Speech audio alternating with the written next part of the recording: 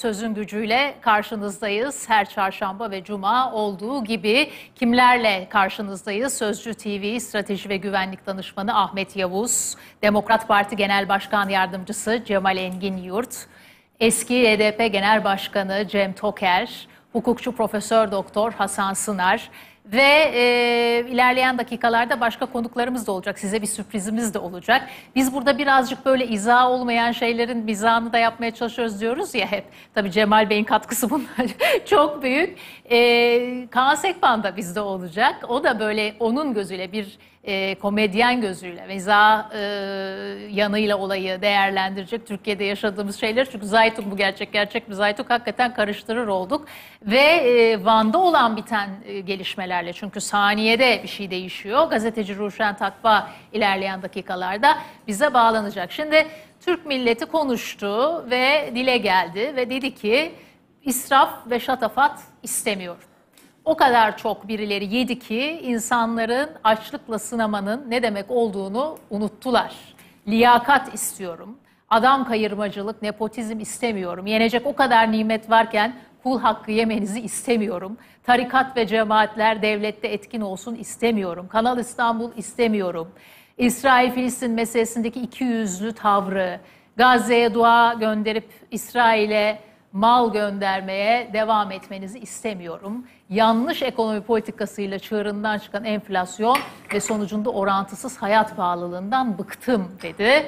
AK Parti çıplak vatandaşı görmeyince vatandaş da o zaman kral çıplak verdi. Gelelim Van'a. Van'da biliyorsunuz e, en başta çok sinirlendi, öfkelendi halk. Çünkü İsrail'e işlemeyen one minute bu sefer hakikaten one minute Van'da halk iradesine karşı işletilmeye çalışılıyor dendi. Seçimi rakibine 28 puan fark atarak %56 ile birinci tamamlayan ve tamamladığı halde mazbatası verilmeyen Abdullah Zeydan için yapılan protestolar biliyorsunuz pek çok şehre sıçradı. Hakkari, Siirt, Batman, İzmir'de gece boyunca 89 kişi gözaltına alındı ve DEM Parti mazbata kararı için YSK'ya itirazda bulundu ve son dakika gelen habere göre ne oldu? Oy çokluğuyla bu itiraz kabul edildi ve mazbata sahibinin olduğu, gerçek sahibinin ve e, gasp edilen halk iradesi e, halkın e, hakkı teslim edildi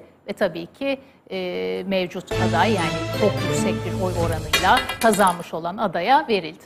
Şimdi böyle olunca çok acayip olaylar yaşandı. Ben de nasibimi aldım bununla ilgili yorum yapan birisi olarak falan. E, hakikaten sokaklar korkunç manzaralar gördük. İşte molotof kokteylleri gördük, kan aktı, birileri dövüldü falan. Asker polis devreye girdi. Bir dakika dedik ya biz bu filmi gördük. Bu 7 Haziran'la 1 Kasım arası. Biz bu filmi gördük. Biz bu filmi ikinci kere mi göreceğiz? Üstelik de aç mideyle mi izleyeceğiz e, biz bu filmi? Şimdi Cemal Engin Yurt sonu böyle olacaktı idiyse biz bu iki gündür yaşadığımız şeyi niye yaşadık ve sizce nasıl oldu da böyle oldu? Tabii Kafalar öncelikli karışık. olarak 31 Mart günü Türkiye'de 22 yıldan bu tarafa kazandık da kazandık, kazandık da kazandık, yendik de yendik diyenlerin yenildiğini gösteren yüce Türk milletine teşekkür ediyorum. Emeklilere teşekkür ediyorum. Kademe bekleyenlere, staj ve çıraklık mağdurlarına, mülakat kalksın isteyenlere, Bağkur prim gününü 7200'e düşsün diye bekleyenlere, ehliyet affı bekleyenlere, yardımcı hizmetler sınıfına, HBS diye hizmet bilgi işlem hastanelerde kadro alamayanlara, taşeron olup kadro alamayanlara, 10 bin lira maaşla nasıl geçinileceğinin hesabını soranların hepsine teşekkür ediyorum.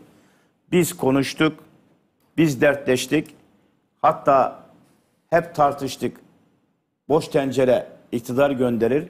Niye 14 Mayıs'ta gitmedi? 14 Mayıs'tan bu tarafa ne değişti dedik. Ne değiştiğini hem mitik meydanlarında anlattım, hem ekranlarda söyledim ve dedim ki bir dip dalga geliyor. 1989 yılından daha kötü bir hezimet yaşayacak iktidar ve milletimiz bu hezimeti yaşattı. Milletimiz Recep Tayyip Erdoğan'a bir dur dedi. bir sarı kart gösterdi halk tabiriyle. Sarı kart gösterdi. Dilerim Recep Tayyip Erdoğan buradan bir ders çıkarır ve seçim akşamı balkondan yaptığı konuşma ki o balkon konuşmasında da bir eksiklik vardı. En azından orada Orhan Gencebay da olabilir. Bir teselli ver diye bir türkü daha söyleyebilirlerdi ama Orhan Gencebay o akşam ilk satan oldu Erdoğan'ı. Ee, kula kulluk yapmaya devam ederken bir teselli veri söyleyemedi. Ben bekledim aslında Erdoğan'ın yanında olmasını. O gün Recep Tayyip Erdoğan 85 milyonun Cumhurbaşkanı olduğu aklına geldi. 85 milyonun kardeş olduğu aklına geldi. İllet zillet diye FETÖ'cü PKK'lı diye böldüğü, dindar dinsiz ayrımıyla insanları birbirine düşman ettiği, birilerine adeta beddualar yağdırarak ne kadar cübbesi var, cübbesiz varsa onların bizi cehenneme gönderdiği bir ortamda şimdi döndük baktık ki Cumhurbaşkanı 85 milyondan bahseder oldu. Umut ettik. İnşallah olur dedik. Ama dünkü karar birdenbire yine ne oluyoruz dedirtti. Bu arada şunu özellikle söyleyeyim. Kürdistan faşizme mezar olacak diyenlerin hepsini şiddetle kınıyorum. Orada Türk polisine, Türk askerine hakaret edenleri şiddetle kınıyorum. Hukuksuzluğa karşı tepki göstermek farklı bir şeydir. Hukuku savunmak farklı bir şeydir ki biz de Van'da hukuk gaspını oradaki gaspa karşı duranlardan farklı değerlendirmiyoruz. Yani memnu hakların iadesinin ne anlama geldiğini ben iyi bilirim. 2014 yılında Ordu Büyükşehir Belediye Başkanlığı'na aday olmuştum. Son güne kadar beklettiler ve son gün benden memnu hakların iadesini istediler. Ne zamanki memnu hakların iadesini 40 yıl önce 12 Eylül döneminde 3,5 yıl hapis yatmışım, çıkmışım, milletvekili olmuşum, aday olmuşum ama ona rağmen benden memnu hakların iadesini istedilerdi. Bu Ne her demek zaman memnu hakların iadesi? yani bir suçtan dolayı hapis cezası alıyorsunuz. O cezayı yatıyorsunuz. 5 yıl sonrasında cezanın süresi tamamlanmış oluyor. Kişi gidip diyor ki memnu haklarımın iadesini istiyorum. Yani seçme değil de seçilme hakkımın iadesini istiyorum diyor. Mesela silah ruhsat alamıyorsa silah ruhsat alabilmek için devlet dairesine Pasaport gittiğinde alamıyorsa pasaport alamıyorsa. alamıyorsa pasaport alabilmek için haklarını, şahsi haklarını alabilme demek. Bu arkadaş da Van Belediye Başkan adayı da öyle zannediyorum 2023 yılında ya da 2022 yılında Karar 2022'nin 12. ayında. e, verilmiş kararı. Memnun hakların iadesini almış. E, adaylık başvurusunda bulunmuş. YSK kabul etmiş. Ama öyle bir hukuksuzluk, öyle bir nizamsızlık ki Cuma akşamı saat 5'te e, demişler ki sen memnu hakların iadesini almış olsan da memnu hakların sayılmıyor. Yani bu sadece hukuksuzluk değil bu ahlaksızlık aynı zamanda. Bu ahlaksızlık. Bu bir hak gaspı. Bu bir hukuk cinayeti. Yani kişiyi aday yapmışsınız. Kişi 90 gündür sahada oy topluyor. %65 çoğunlukta seçiliyor ve siz seçildiğini görüyorsunuz. Seçime iki gün kala madem memnu hakların iadesini alamadığını düşünüyorsanız, aday olamayacağını düşünüyorsanız ilk başvuru yaptığı gün YSK bunu inceliyor. Bakın tekrar söyleyeyim. Yine bu seçimde başıma gelen bir olay. Hep kendimden örnek veriyorum. Çünkü benim de geçmişimde çok fazla kavga gürültü olduğu için hukukla sıkıntılarım fazla. Yine bu seçimde Cumhuriyet Halk Partisi'nden Demokrat Parti ittifakıyla aday olduğumda YSK mevcut vekil olmama rağmen, bakın mevcut vekil olmama rağmen, milletvekiliyim faal, meclisteyim, benden memnu hakların iadesini istedi. Memnu hakların iadesini istese ben de verdim. Tamamdır dedi girdik. Şimdi siz tamamdır diyorsunuz, onay veriyorsunuz ve YSK kararı tartışılmaz. Bu YSK Türkiye'de öyle bir despot kurumdur ki YSK'nın kararlar, Anayasa Mahkemesi kararlarını tartışırsınız. Yargıtay o kararlara uymaz. Türkiye öyle bir ülke. Anayasa Mahkemesi kararlarını bu ülkede Cumhurbaşkanı tanımaz. Anayasa Mahkemesi'nin kapatılması istenebilir bu ülkede. Ama YSK kararları asla ve kata hiçbir şekilde sorgulanamaz, tartışılamaz ve uyulmazlık diye bir şey söz konusu değildir. YSK karar vermiş, aday yapmış kişiyi bir mahkeme tekrar diyor ki hayır bu arkadaş aday olamaz memnu hakların iadesini. O zaman hemen aklıma geldi, endişelendim. Türkiye'nin birçok yerinde de şu an 3 gündür süren hukuksuzluklar var. Mesela Ordu'da İyi Parti. Orduya gelmeyelim Cemal Engür. Çünkü e, Hasan Sınar'a da soracağım. O zaman bunu tamamlayayım. Ha, yani Van'ı. burada e, Van üzerinden ben iktidar acaba yeni bir şey mi deniyor diye endişelendim. Panikledim. Milletim adına, devletim adına, ülkem adına, gençlik adına panikledim. Ne oluyor? Recep Tayyip Erdoğan kaybetmenin hırsını, intikamını Kürtleri tahrik ederek, vatandaşlarımızı tahrik ederek bu ülkede yeni bir kardeş kavgasının yolunu açıp işte tıpkı o 7 Haziran sonrasında bakın ben yoksam ülke teröre gidiyor. Ben yoksam işte teröristler ortamı kendi lehlerine çeviriyor gibi bir hava mı yaratacak dedim. Ama e, gördüğüm şu ki e, YSK bunu an itibariyle iptal etti. Bence doğru bir karar verdi. E, karar doğruydu çünkü ülke büyük bir gerginliğe gidiyordu. Bir hukuksuzluğun neticesinde belki de Türkiye'nin her yerine yayılabilecek bir hukuksuzluk neticesinde olaylar çıkabilirdi. Kaos belki? İnşallah bundan dönüldü. Hani Recep Tayyip Erdoğan'a tavsiyem şudur. Yani e, artık millet sana dedi ki 4 yıl bu ülkeye cumhurbaşkanlığı yap. Biz yerel seçimlerde görevimizi yaptık. Sana bir sarı kart gösterdik. Sen de dön bundan sonra 10 bin lira. Yani Recep Tayyip Erdoğan bundan sonra kayyumla niye uğraşıyor ya? Van'da, Diyarbakır'la ne işin var? Emekli 10 bin lirayla geçinemiyor işte. Çık bunu artık düzeltmeye bak. Yani Brent petrolün varlığı 86 dolar oldu bugün. Yani önümüzdeki günlerde zam geliyor tekrar akaryakıta. Bunları düzeltmesi gereken Recep Tayyip Erdoğan e, inşallah bu tür şeylere tevessül etmez. Hem ülkemiz açısından hem milletimiz açısından kötü sonuçlar doğurur. Ben YSK'nın kararını kutluyorum, tebrik ediyorum. Ama kutlamadığım, tebrik etmediğim kararları da var. Onu da biraz ileriki e, saatlerde konuşuruz biraz sonra. Şimdi bu arada e, Buğra Kavuncu görevinden istifa etmiş. E, onu da son dakika bilgisi olarak verelim. E, partimizin genel seçim Meclisi 31 Mart yerel seçimlerine ittifaksız girme kararı almış. Tüm ülkede aday belirleme süreci başlamıştır. Alınan karar sonrası çalışmalarıma başladım. Daha iyi bir belediye başkanı olacağım iddiasıyla seviyeyi düşürmeden projelerimi anlattım. Uzun uzun anlatıyor. Ee, Ancak seçimleri beklediğimizin çok altında bir sonuçla tamamladığımızı kabul etmek zorundayız. Tüm bu şartlar altında ben de üzerime düşen sorumluluğu yerine getirerek gerek yapılacak olağanüstü kongremizin daha sağlıklı ve demokratik bir ortamda yapılabilmesi, gerekse İstanbul'da aldığımız sonuçla doğrudan ilişkili olarak 8 aydır yürütmekte olduğum teşkilat başkanlığı görevimden istifa ediyorum. Kamuoyuna saygıyla duyurulur demiş. Bu da son dakika gelişmesi olarak. Burada dur o kadar çok son dakika gelişmesi var ki bu arada Kayseri'ye de gideceğiz. Kayseri'de de çok enteresan şeyler oluyor ama hemen e, Profesör Doktor Hasan Sınar'a döneceğim. Şimdi bu Van meselesi, Evet. One Minute.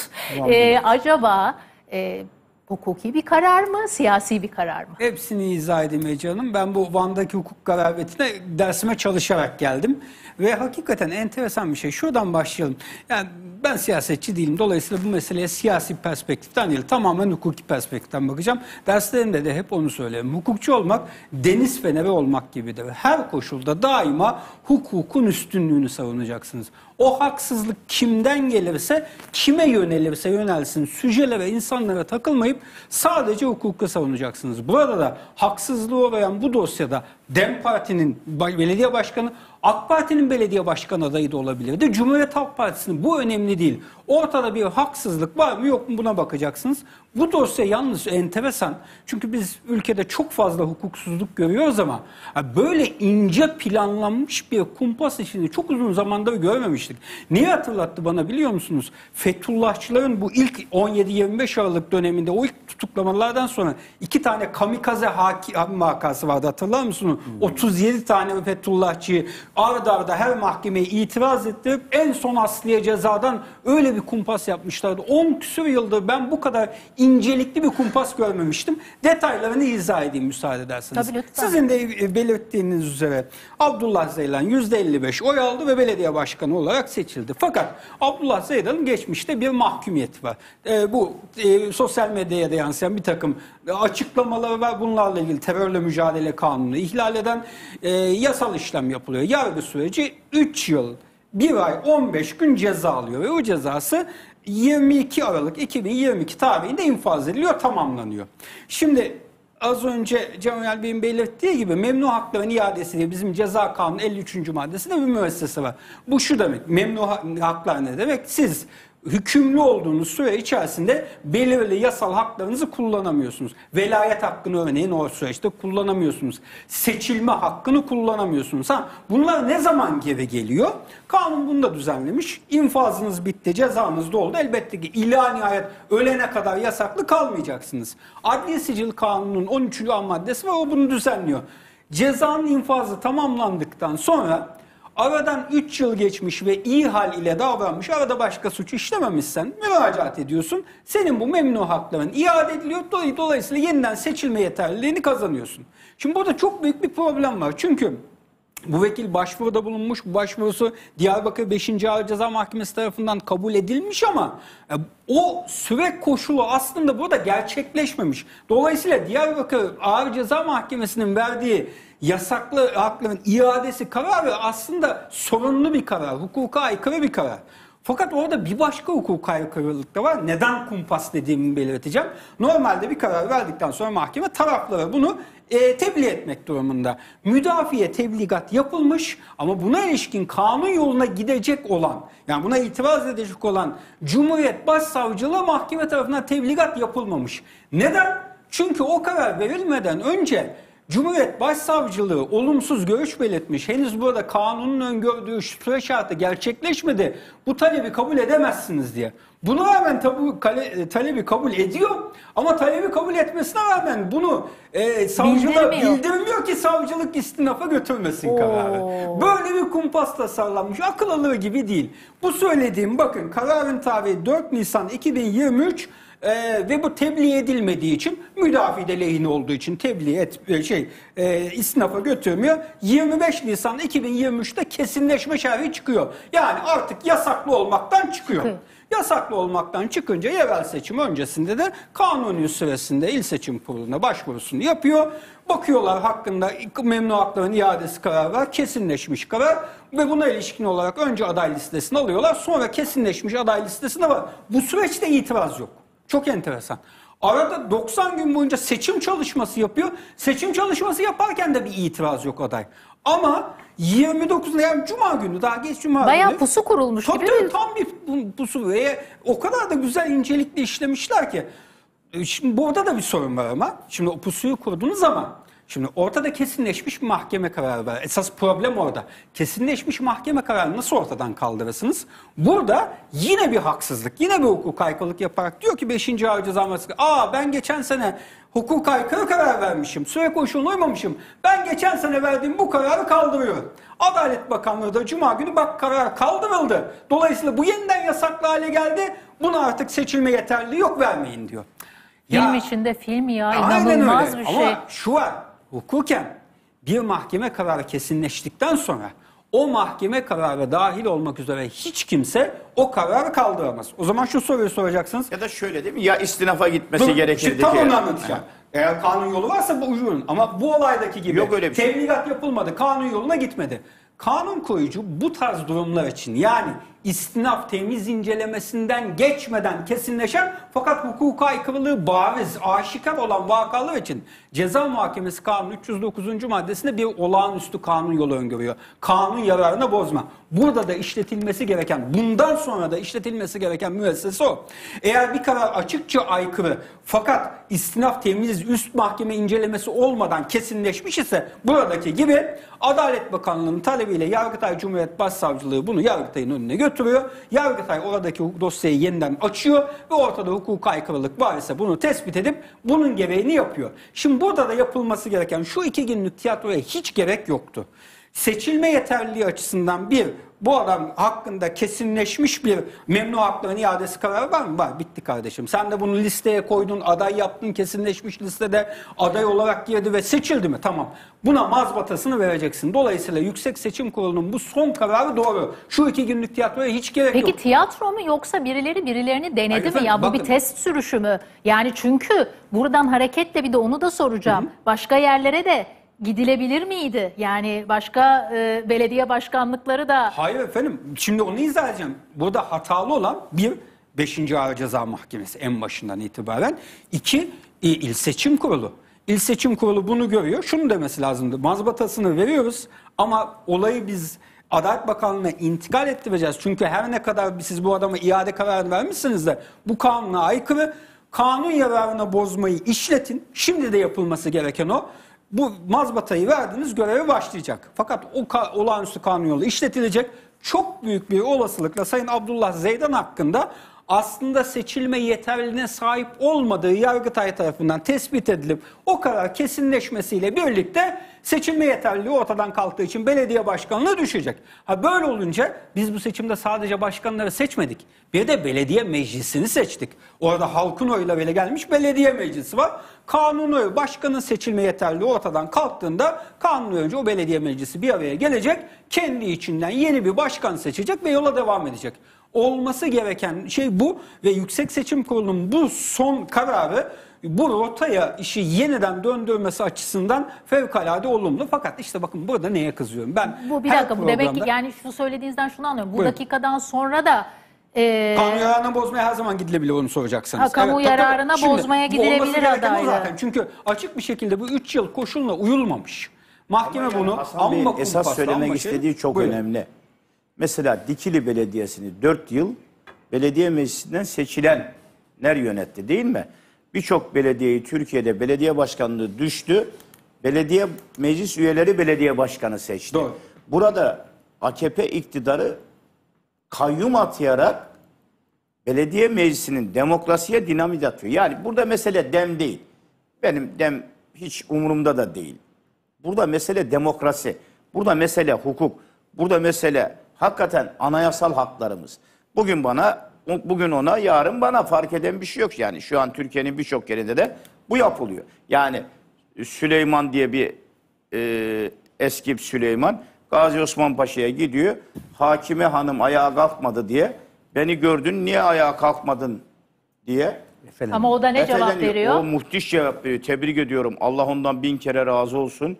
Ben hakimim ayağa kalkmam haddini bileceksin dercesine. Burada bir şey söyleyeceğim. Seçimde bu bir haysiyet kırılmasının ayaklanmasıdır dedim. Birazcık da bu var. Yani Tabii, bu onun kesinlikle. çok iyi bir örnek. Tabii, tabii, tabii. Yani çok insanların büyük. haysiyetleri kırıldı. Tabii. İnsanlar da haysiyetleri kırılmasına artık onurlu tepki veriyor. Yani Hasan Bey Tabii. devam etsin. Bir cümle bitireyim Yani, müsaade edersiniz. Burada yani burada en çok Hocam aslında ben size bir soru sorabilir miyim? Buyurun, Yani izleyici de daha sayın. rahat Tabii. anlasın Tabii, diye. buyurun. Peki e, bu e, gerekli sürenin dolmadığını e, Abdullah Zeylan ve DEM Parti'nin hukuk kurulu bilmiyor mu? bilmesi gerekir. Bilmesi gerekir Yani ama bilme- başvuruda bulunduğu için onu suçlayamazsınız. Hayır, Yani suçlamak adına başvuruda söylemiyorum. bulunmuş. Ama Suçlamak biliyor. adına Onların da aslında bunu Yani öngörerek hareket etmesi gerekirdi. Partilerin Doğru. de hukuk kurulları var değil Tabii mi? ki. Aday belirlerken insanların bakıyorlar e, hukuki problemleri var mı? Başka problemleri var mı? Ona göre aday belirliyorlar. Ahmet Ama Hocam böyle ama burada bakın tekrar şuna dikkat çekelim. Demi bir kenara bırakarak. Kendimden örnek verdim. ilgili demiyorum ben. Memnu haklarımın iadesini almışım. YSK'ya başvurmuşum. Veya Ahmet Yavuz olarak siz milletvekili adayı oluyorsunuz. YSK size şunu diyebiliyor. Diyor ki partinizi arıyor. Ahmet Yavuz memnu hakların iadesini almamış. Üç gün süreniz var. Zaten Alın, üç gün. alın Alın, gelin. diyor. Aldığınız anda aday oluyorsunuz. Bu arkadaşa hiç onu dememişler de. Çünkü memnu hakların iadesini götürüp vermiş. Burada tek problem Hasan Bey'in dediğinden, seyircilerimizin de iyi anlaması açısından. Yani o gün mahkeme, Cumhuriyet iki tarafa istinaf hakkı tanınır. Hem karar alanın istinaf hakkı vardır. Tamam, ben onu anladım. Ben onu zaten anladım. süre koşulu gerçekleşmediği için Sayın talebi hocam, reddetmesi gerekirdi. Sayın hocam ben Yapmamış. Onu, ben onu anladım. Burada bir hukuki problem var. Ee, onu anladım ama mesela bana birisi Yani siz bir dem de mi kötü niyetli olabilir burada Size diyorsunuz? parti demez Ahmet Başkanım. Ben- Tekrar söyleyeyim. Size parti söylemez. Memnu hakların iadesi var mı diye. Siz aday olursunuz. Cumhuriyet biz mesela aday olurken Hayır, ne anladım. yapıyoruz? Ben onu anladım. İşte Anladım. kağıdı alıyoruz. Adına ihale kağıdı Tamam deniyor anladım ya. biliyorum. Biz İhale de aldık, biz de alıyoruz. hapis yattık, biz de Yok yok değil. pasaport yok. alabilmek için. Hayır yok. İhale Yani- kağıdına rağmen alıyoruz ya ihale kağıdını. Evet. Buna rağmen diyorum YSK alıyor bizim dosyalarımızı. Tamam. Diyor ki bir müddet sonra inceliyor tek tek. Ahmet Yavuz'un, Cemal Engin Yurt'un ihale kağıdı var ama diyor. Arşivli araştırmada diyor. Arşivli araştırma diyor Evet. onun adına. Bunun adli sicili var diyor.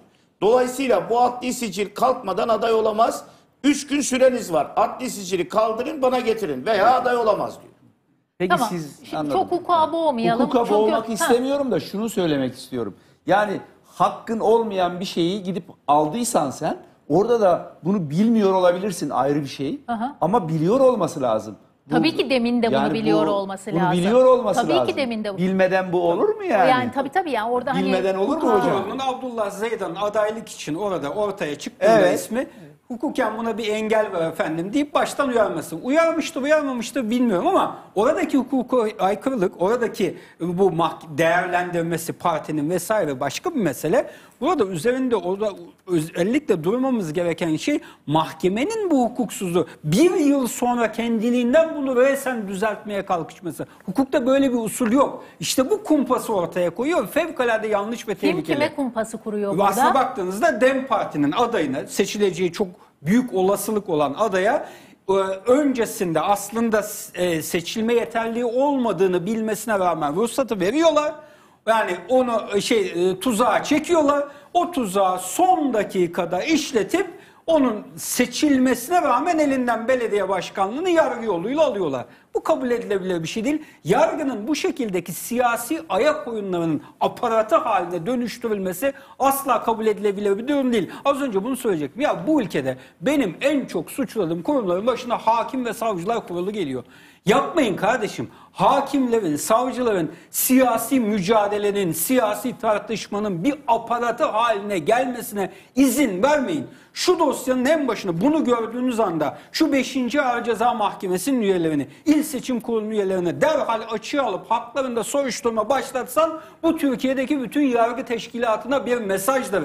Siyasete alet olmayın mesajıdır ama tıpkı Can Atalay kararında olduğu gibi, tıpkı Yargıtay 3. Ceza Dairesi'nin anayasa tanımazlığı örneğinde olduğu gibi 3 maymunu oynayıp kafasını kuma gömmeyi tercih ediyor hakim Hocam ve savcılar Albay kurulu. Gezer Avcı'yı Olmaz. gezdiriyor insanlar. Olmaz efendim. Albay olmaz. Gezer Avcı'yı yani hangi hakim ve hukuktan savcılar bahsediyoruz? kurulunun yani? hakim ve savcıların arkasında durması, onları siyasete ezdirmemesi, siyasetin aparatı haline gelmelerine izin vermemesi gerekir. Bizim ne yapıp edip hukukun üstünlüğü için HSK'yı gerçek anlamda bir hakim savcı kurulu haline getirmemiz lazım. Siyasetin oyuncağı olmaktan çıkartmamız lazım. HSK'nın başkanı kim? Oraya girersek çıkamayız. HSK'nın başkanı, Hangisi doğal üyesi, bakan yardımcısı, üyelerini kim seçiyor? Cumhurbaşkanı meclis böyle bir düzen AKP, var mı? Hasan'cığım, bir AKP şey söyleyeyim. Genel Başkanı. Olur mu? Hasan'cığım bir şey söyleyeyim. Buyurun üstadım. Üç tane HSK üyesi seçilecek. İkisi CHP, birisi öyle. İyi Parti. Gittiler CHP'nin de bir üyesini İyi Parti'ye Aynen. verdiler. Kemal Bey İğneyi verdi. ele batırırken Üç- muhalefet Ha, işte bak. da kendine Ben o gün batıracak. Demokrat Parti Genel Başkanı Gültekin Uysal'la beraber Türkiye Büyük Millet Meclisi'nde basın toplantısı düzenledik Sayın Toker. Dedik ki bu oylamaya girmeyelim. Bu oylamaya katılmayalım. Bu oylamaya katılır. Bu üç üyeyi seçersek yarın Hasan Bey'in dediği gibi bu HSK düzelmeli, bu HSK kötüdür dediğimizde Tayyip ya da Adalet Bakanı bize der ki bu HSK üyelerini seçerken aklınız Aynen. neredeydi diye sorarlar. Onun için bırakalım kuraya gitsin. Kurayla seçilsin dediğimizde çok acı CHP ve İyi Parti 3 üye alacağız diye mecliste oylamaya katıldılar ve HSK'nın bütün kararlarının hukuki veya hukuksuzluk anlamında itirazımızın önünü kestiler. Maalesef Bunu bu erken çok görmek önemli bir lazım. nokta. Muhalefet de bu bozuk düzenin meşrulaştırılmasının bir aracı Aynen. oldu. Baştan reddetmeliydi. Tabii. Ben bunun bir parçası olmam diyebilmeliydi. O basireti gösteremedi. Şimdi hukuksuzluk bir kere kabul edildiğinde sınırlarının ne kadar kolay genişletilebildiğini hepimiz bu ülkede yaşadık, gördük. Şimdi bu Van meselesiyle ilgili sizin de teşhisinizi merak ediyorum. Van sarı öküz müydü? Az önce Hasan Hoca'ya sorduğum gibi bir test sürüşüydü de gerekli tepki verilmeseydi gaza mı basılacaktı orada? Ne, nedir Van'la ilgili tespitiniz?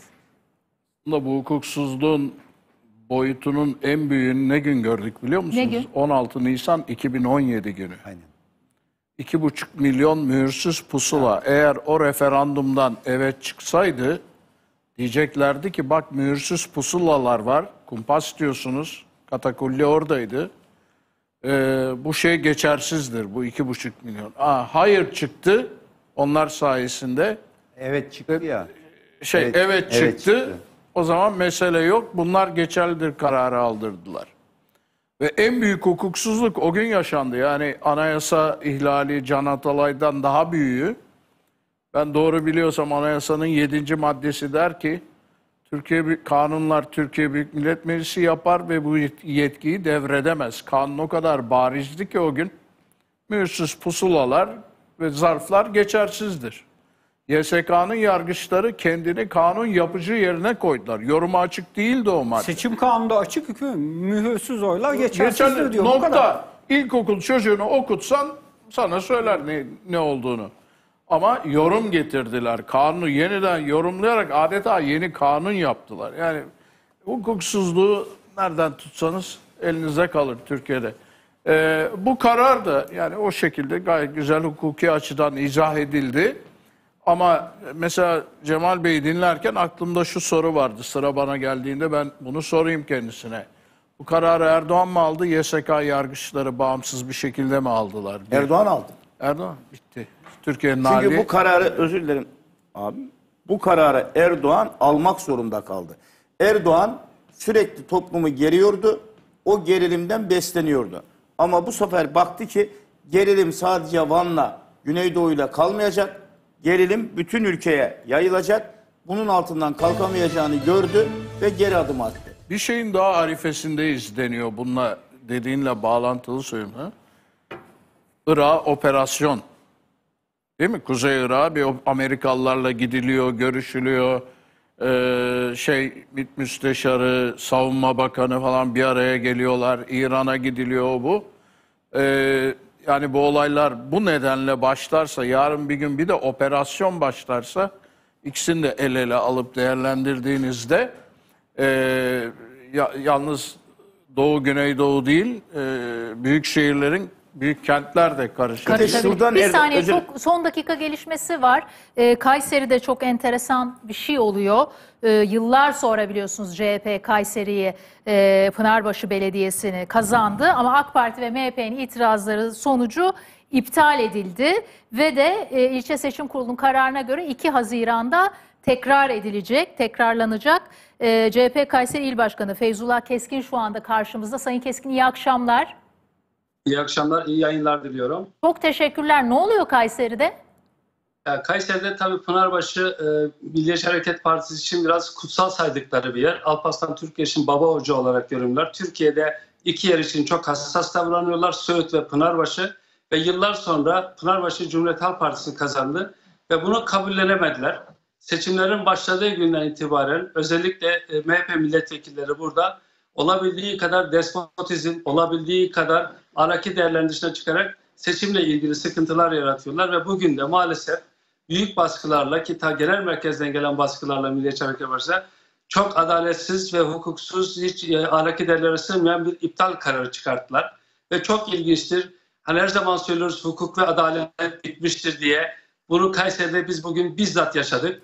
Maalesef e, görüntüler size de gelmiştir. E, yüksek, il seçim e, pardon ilçe seçim hakimine fiziki bir darbe hakaretler e, MHP milletvekili tarafından yapılmıştır. Buna rağmen hakaret edilen e, saldırıya fiziki saldırıyan hakim bile bugün e, onların lehine karar vermek zorunda kalmıştır.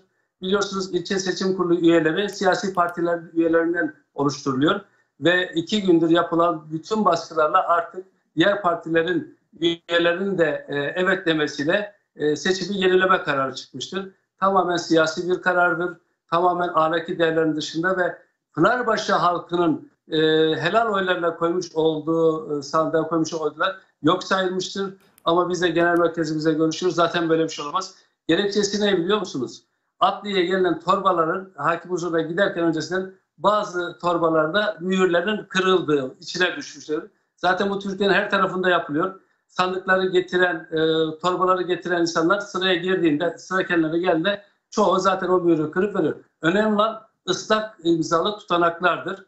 Ve ıslak imzalı tutanaklarla sandıkta çıkan oylarınızda hiçbir değişiklik yok. Çünkü bu ıslak imzalı tutanakları biliyorsunuz oradaki sandıkta duran bütün partilerin temsilcileri imzalıyor. Yani AKP'nin de MHP'nin de üyeleri imzaladığı, e, imzaladığı ıslak imzalı tutanakları maalesef e, ilçe seçim kurulunda gerekçe göstererek seçimi iptal ettirmişlerdir. Yani hem fiziki hem de bir de hakaret var diyorsunuz öyle mi? Tabii Hakim? hakime bizzat, hakime bizzat MHP milletvekili tarafından görüntüleri zaten sizlere de ulaştırılmıştı.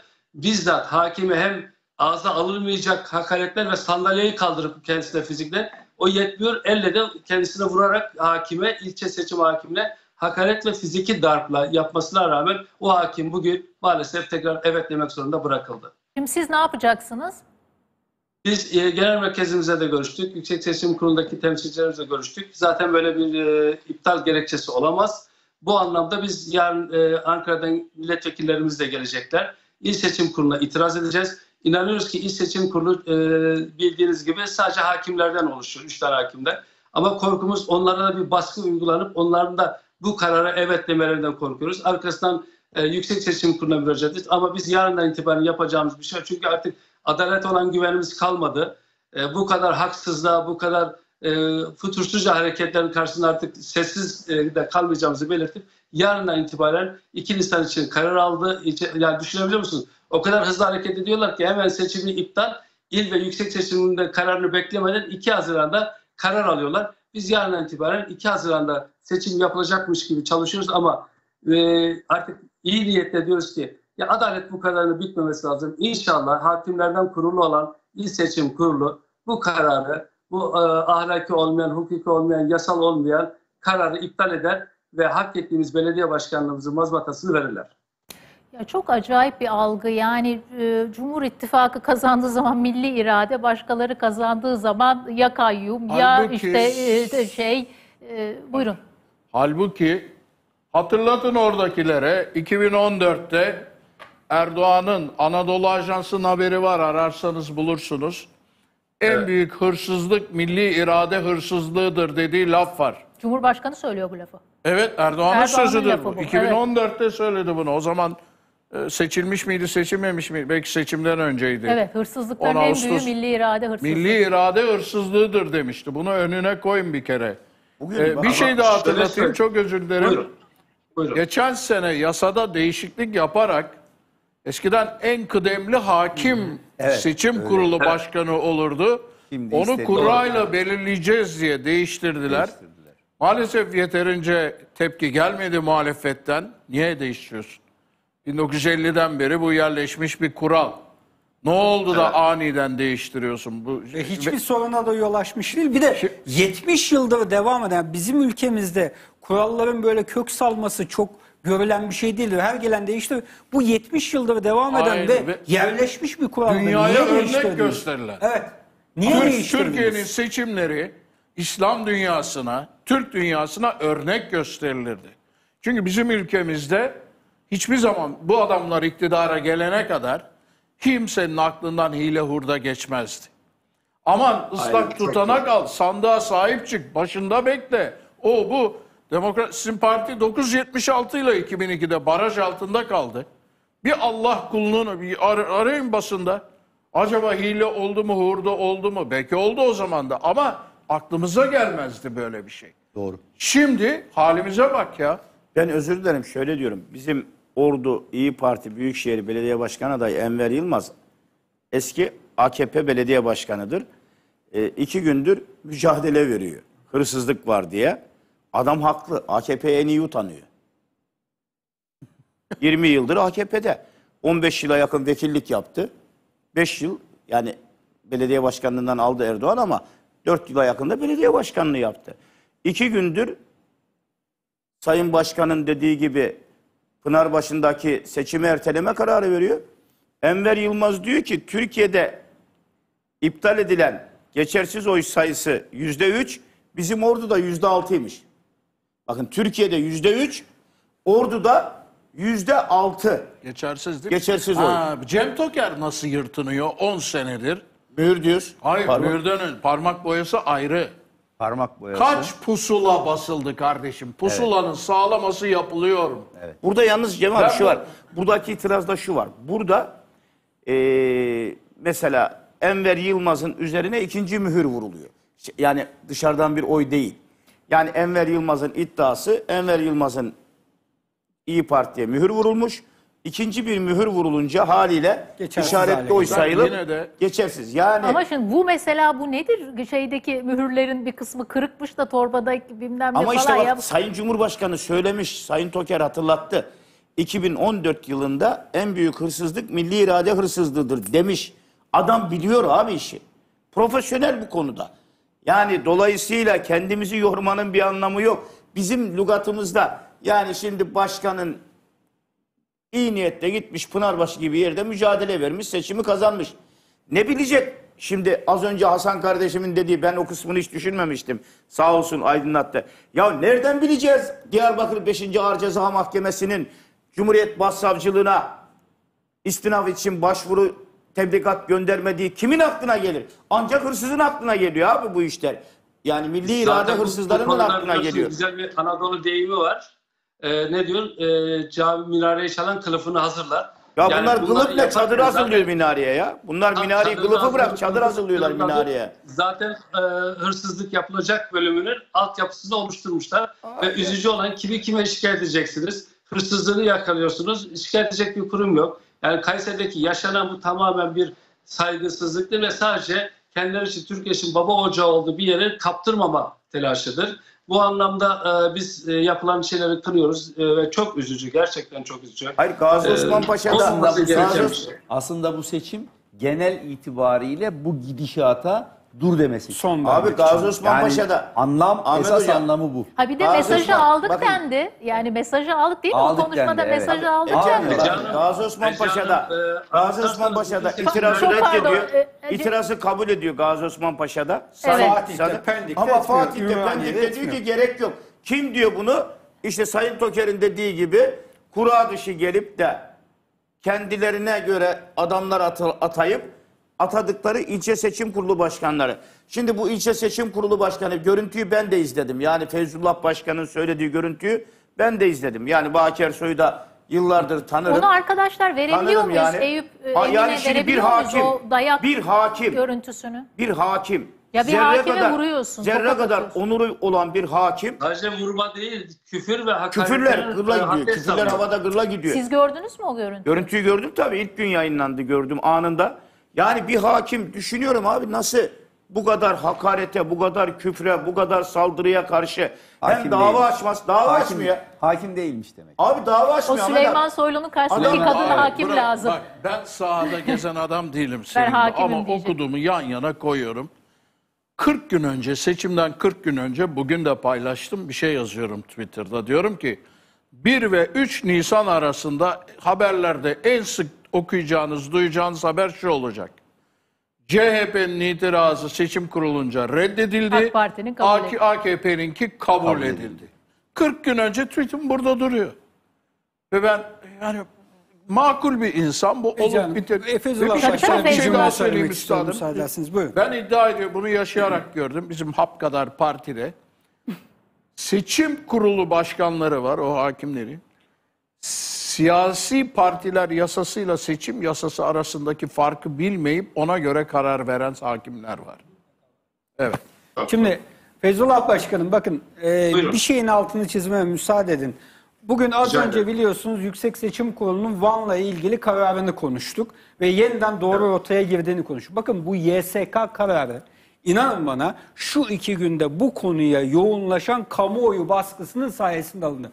Eğer kamuoyu bunun üzerinde durmasa, bu televizyonlarda bu konu işlenmese, sosyal medyada bir infial ortaya çıkmasa, bu hukuksuzluğa yönelik insanlar sesini perde perde yükseltmese oldu bitti. Üsküdar alan Atalan Üsküdar'a geçti olacaktı. Onun için sizin Pınarbaşı'ndaki bu haksızlığı dile getirmeniz, buradaki hukuksuzluğu ifşa etmeniz, buna ilişkin bir farkındalığı inşa edip o farkındalığı yükseltmeniz fevkalade önemli. Bu kanallarda bu hukuksuzluğun Pınarbaşı'nda yaşananın diğer yerlerde yapılan haksızlığın, hukuksuzluğun ortaya konulması, buna ilişkin bir kamuoyu yaratılması her şeyden daha önemli. Eğer işte bu gerekli kamuoyu, gerekli farkındalık yaratılırsa İl Seçim Kurulu veya YSK tıpkı Van'da olduğu gibi bu hukuksuzluğun arkasında duramayacaktır. Bizim toplum olarak hukuksuzluğa karşı elbette ki barış içerisinde, hukuk içerisinde barışçıl protesto hakkını kullanmak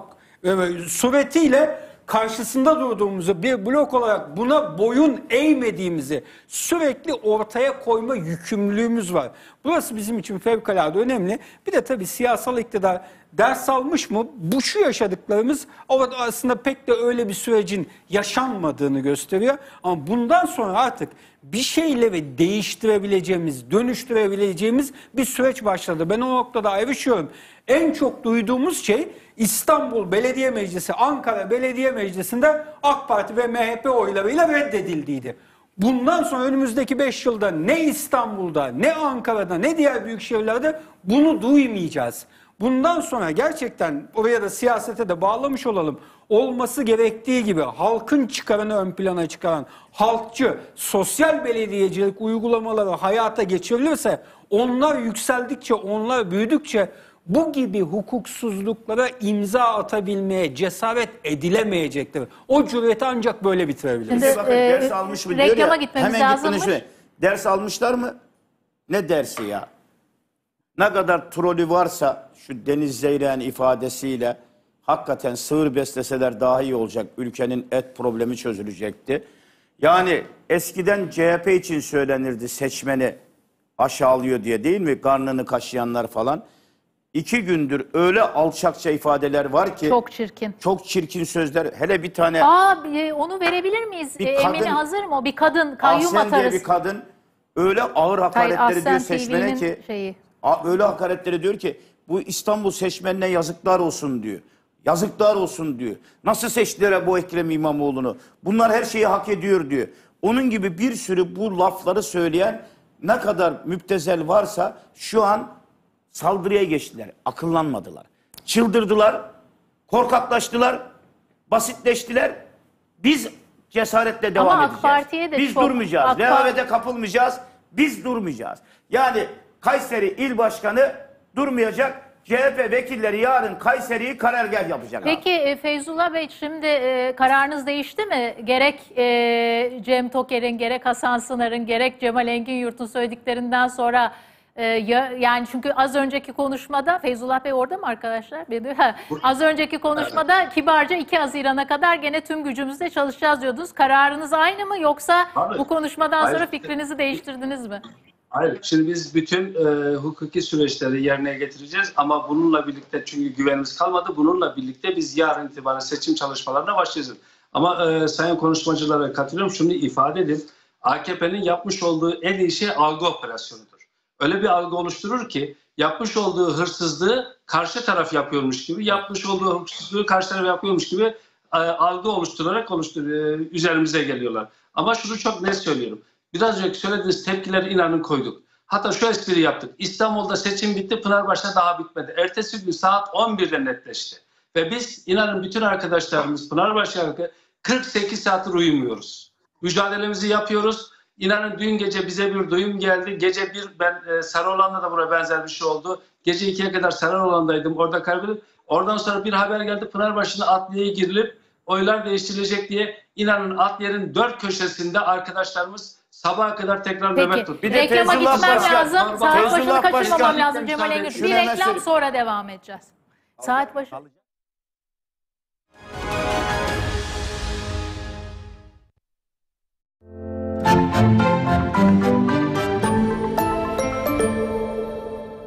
Gerçek futbol keyfi Arçelik dev ekranda yaşanır. Gerçekçi ses ve görüntü teknolojisiyle size futbolun coşkusunu yaşamak kalır. Üstelik şimdi tüm Arçelik 75 inç ve üzeri televizyon alışverişlerinizde bir yıllık Dijitürk taraftar paketi hediye. Detaylar Arçelik.com.tr ve Arçelik mağazalarında. Milli futbol takımları ana sponsor ve sürdürülebilirlik ortağı Arçelik, milli takıma başarılar diler. Vodafone Business IoT çözümleriyle işleriniz sizin kontrolünüzde. Red Enerji ile %30'a varan elektrik tasarrufu sağlayabilirsiniz. Akıllı fabrikayla da makine duruş sürelerini ve sebeplerini anlık takip edebilir, üretim performansınızı artırabilirsiniz. Araç takip sistemi ile filonuzun konumunu ve rotasını kolayca takip edebilirsiniz. IoT çözümlerimizle üretim sektöründe verimliliğinizi artırın, maliyetleri azaltın. Akbank Mobil Türkiye'de bir ilke imza atıyor. Mesela ekonomi bileti alıp business class'ta uçsanız ne olur? Milyarlık yatırımları yöneten uzmanlar benim birikimlerimi de yönetsin bari olur. E olur. Hatta Türkiye'de bir ilk olur. Çünkü milyarlık yatırımları yöneten Ak Portföy uzmanları şimdi 200 bin TL ve üzeri birikimleri de yönetiyor. Akbank Mobil'den dijital portföy yönetimi hesabı açan tüm Akbanklılar Ak Portföy uzmanlığına güveniyor. Mobilin bankası Akbank.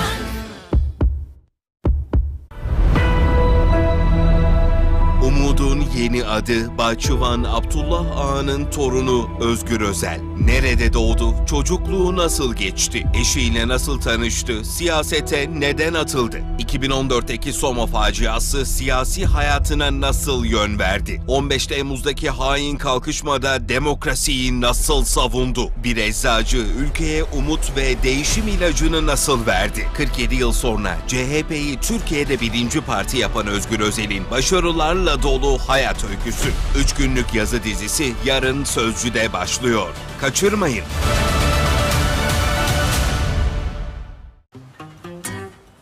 my entrance,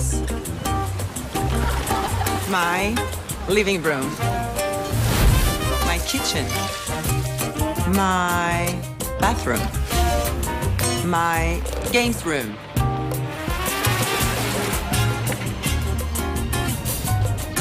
My library, my palazzo. Benim için ekmek 12 tahıllı premium un tat.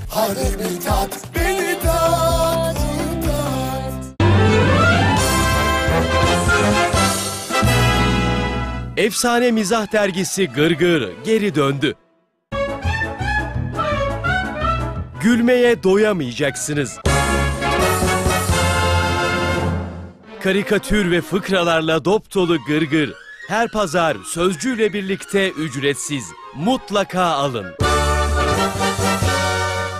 En sevdiğimiz lavaş un tat lavaş. Hadi bir tat, beni tat, un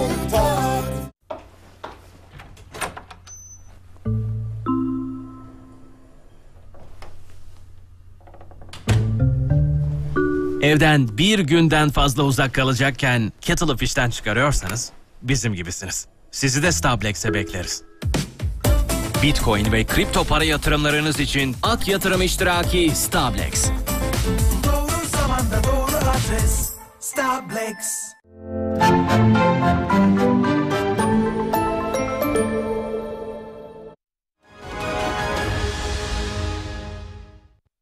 Evet CHP'nin yıllar sonra e, kazandığı Kayseri Pınarbaşı Belediyesi'nin seçimleri AK Parti ve MHP'nin itirazıyla iptal edildi. 2 Haziran'da tekrarlanmak üzere. Biz de konuşuyoruz tabii e, Kayseri İl Başkanı Feyzullah Keskin'le. E, o da öğrenilmiş çaresizlik mi artık ne? Bu arada arkadaşlar görüntüleri de verebilirsek yani bu arada tehdit var, hakim e, döv- dayak atılıyor, tehditler savuruluyor, işte hakaret var, her şey var. Buna rağmen iptali yönünde karar alıyor bunlara maruz kalan hakim. Ee, o görüntüleri de insanlar görsünler, görmemiş olan izleyicilerimiz görsünler. Ee, olay bu. Şimdi tabii e, e, reklama gitmemiz gerektiği için tam hem Cem Toker hem de Cemal Engin bir şey söyleyecekti Feyzullah Keskin'e. Feyzullah. Ahmet Yavuz'un da bir e, Feyzullah Bey sizi bulmuşken e, şöyle bir herkes Hayır. sarsma ihtiyacı duyuyor. Yapmayın, razı olmayın falan Yok diye. ben ben o Evet. sarsıntıyı inanın Kayseri'de oluşturacağım. Tüm Türkiye'ye yayılacak. Zorbalığın hakim olmadığı, insanların hakkını arayıp o korku duvarını aşacaklarını ben herkese ispatlayacağım. Ve Kayseri'de inanın bunun çalışmasını yapıyorum ve yaptık. Kayseri'de hiç belediyemiz yoktu ve muhafazakar milliyetçilerin kalesi görülenlerde dört tane belediye başkanlığı alnımızın akıyla kazandık. Bütün baskılara, dip- bürokrasinin desteğini arkaya almaları, kamu e, şeylerin bütün kullanmalarına rağmen hiçbir şeyde yılmadık, yılmayacağız.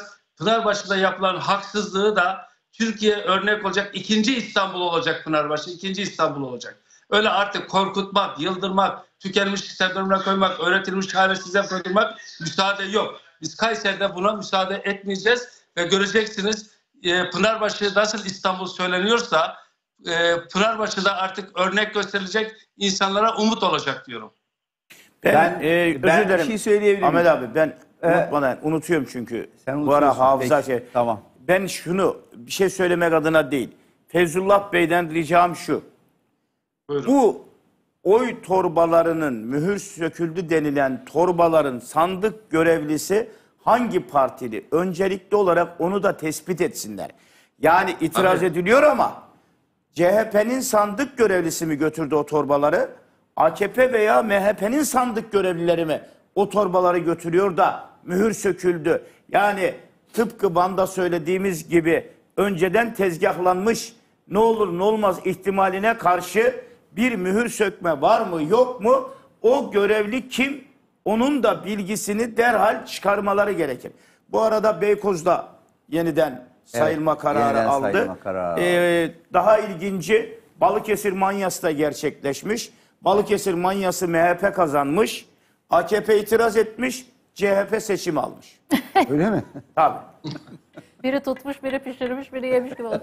Ee, sizin Ben şunu, Ahmet Yavuz Bey. ben e, tabii ki hukuki süreçlere e, bigane kalmak uygun değildir ama e, sizin yerinizde olsam doğrudan 2 Haziran seçimini beklerim ve İstanbul seçiminde olduğu gibi çok Daha büyük büyük, bir fark ortaya çıkar ve bu da e, belki Türkiye çok uzun zamandır bence demokrasinin zaten e, sözünü etmeye gerek yok da hukuk devletinden uzaklaştı Türkiye. Tekrar hukuk devletini kazanma süreci başlar diye düşünüyorum. E, bunu değerlendirirsiniz herhalde Feyzullah Bey. Bir de Kayseri Mutlaka, mutlaka. 2000 e, ben e, 1988'de Kayseri'ye atandığımda Kayseri'deki belediye başkanı Sayın Bahçecioğlu'ydu yanlış hatırlamıyorsam. Niyazi Bahçeci. Cumhuriyet, Niyazi Cumhuriyet, Bahçecioğlu'ydu. Cumhuriyet Halk Partisi'ndendi. Yani 89'dan ne 94'e oldu da ne oldu da Kayseri'de, e, Sivas'ta, efendime söyleyeyim o bölgede komple böyle bir e, ortadan kaybolma oldu. Herhalde yeniden bir doğuş başladı. Hayır şöyle oldu Sayın Şah. Kayseri'de şimdi e, çok göç aldı. Göç aldığı yerler genelde Güneydoğu, Doğu'da yani Sivas, Maraş, e, şimdi muhafazakar ve milliyetçilerin yoğun olduğu yerlerde göç alınca biz e, sosyal demokrat olarak azına karşı. Yani biz bu göçleri eğer Eskişehir'den, Edirne'den, Kırıkkale'den alsaydık bu yine Büyükşehir Belediyesi bizde olacaktı. Bu anlamda girdi. Ama şunu söylüyorum. Son yerel seçimlerde Sayın Genel Başkanımız ve Genel Merkezimizin yönetimde yapılan seçimlerde nasıl Türkiye'de bir umut oldu, sabah kalktığımızda insanlar birbirine gülerek yaptıysa o korku duvarının aşıldığına inanarak ifade ediyorum ki inanın Pınarbaşı'da bu kadar MHP'nin baskısına, AKP'nin baskısına rağmen e, ikinci İstanbul örneğini o yüzden veriyorum. Tekrar umut olacak ve insanlar Pınarbaşı dediğiniz gibi örnek gösterecekler. Bugün belki 319 sayı fark varsa biz 2 Haziran'a yarın itibaren çalışacağız. Bu itiraz etmeyeceğimiz hukuksal süreci bırakacağımız anlamına gelmesin ama bir gün bir gündür yarın sabahtan başlayacağız ve 319 olan sizin ekranlarınıza ifade ediyorum. 3129 olarak biz Türkiye'de Pınarbaşı'yı tarih yazdıracağız. E canım bir cümle Feyzullah Başkanım.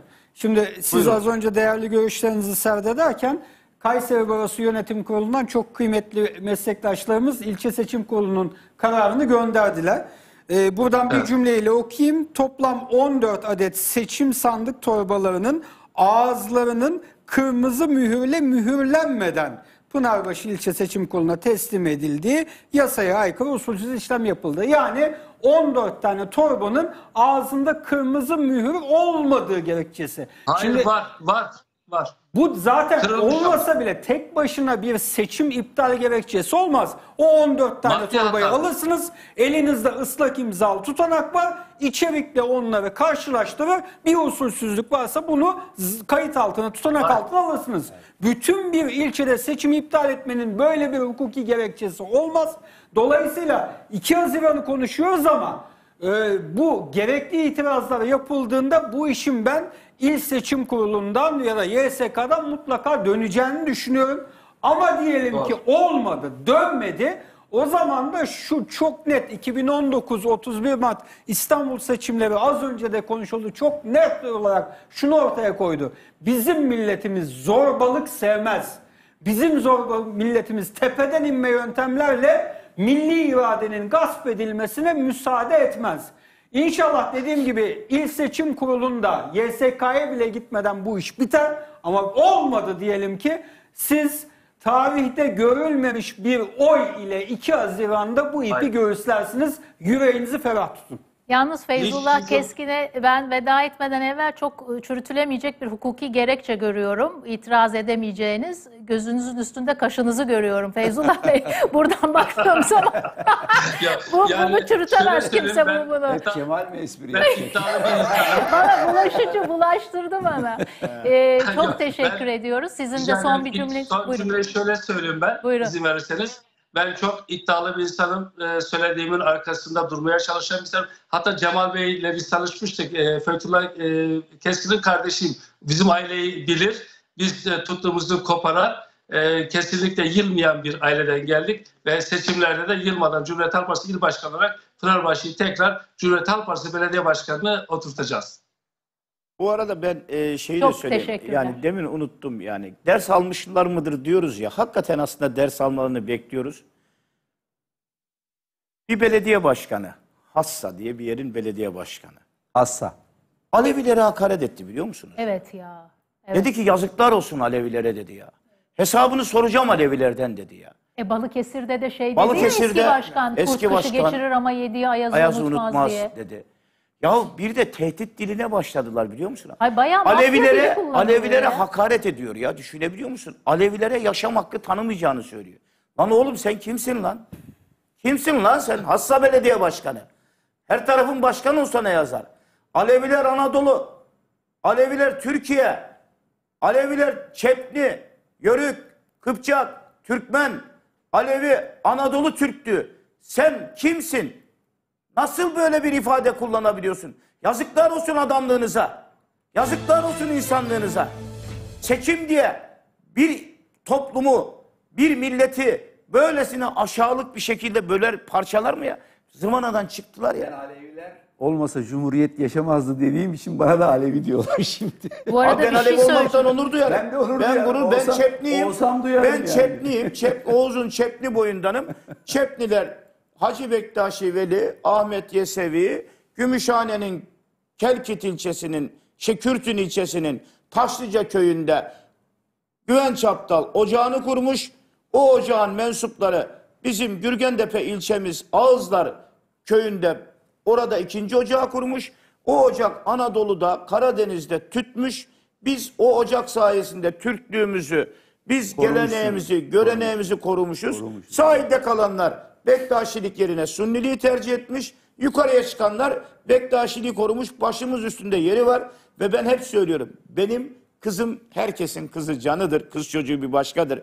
Benim oğlan ayda bir kere arar beni. Kızım her akşam arar Allah razı olsun. İlacını içtin mi diye. Çok severim. Kızımı bir Alevi'ye verdim ya. Pırıl pırıl bir Alevi gencine verdim ya. Ve bundan da çok mutluyum. Onu da seviyorum. Ay pırıl pırıl bir Alevi var? genci fazla oldu. Alevi deyince pırıl pırıl. Çoğu çok yani bence Pırıl hepsi pırıl. çok aydın Ay, ay, ay, insanlar. ay. Hayır benim gelinim de Alevi. Çok hiç aydın kimseye insanlar. değişmem Hiç yani. öyle bile Hiç ki ben de Şimdi böyle hakikaten bir şey var kimseye mı? değişmem Ama Ali. adam bakın ne yaptı biliyorsunuz? Ne diyor? Alevilerden bunun hesabını soracağım. Çok Çılgınlığa bakın ya. Çıldırmaya bakın. O Ahsen TV denen. Ya savcı hakim neredesin ya? Neredesin? Cübbe size bir laf dedim diye dokunulmazlığı meclise kadar gönderdim. Jeliboncu dediye iki laf ettim diye dokunulmazlığı meclise kadar gönderdim. Sedef Kabaş bir atasözünü söyledi diye 45 gün devleti milleti bölmeye, parçalamaya, kin, nefret tohumu saçmaya sebep oldu diye tutukladın. 2 yıl 7 ay verdin.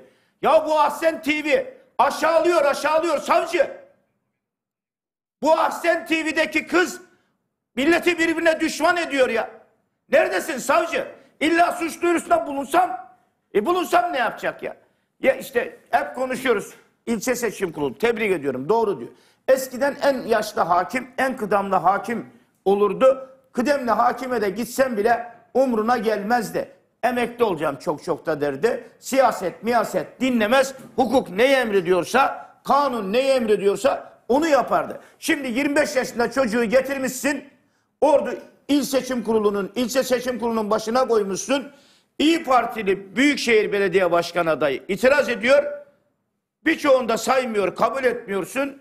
Beykoz'da red vermişsin dün, sayılmasın demişsin. Bugün sayılsın diyorsun. Ama Fatih'te sayılsın diyene red veriyorsun. sayılmasın. Pendik'i red veriyorsun sayılmasın. Niye? Çünkü 25 yaşında.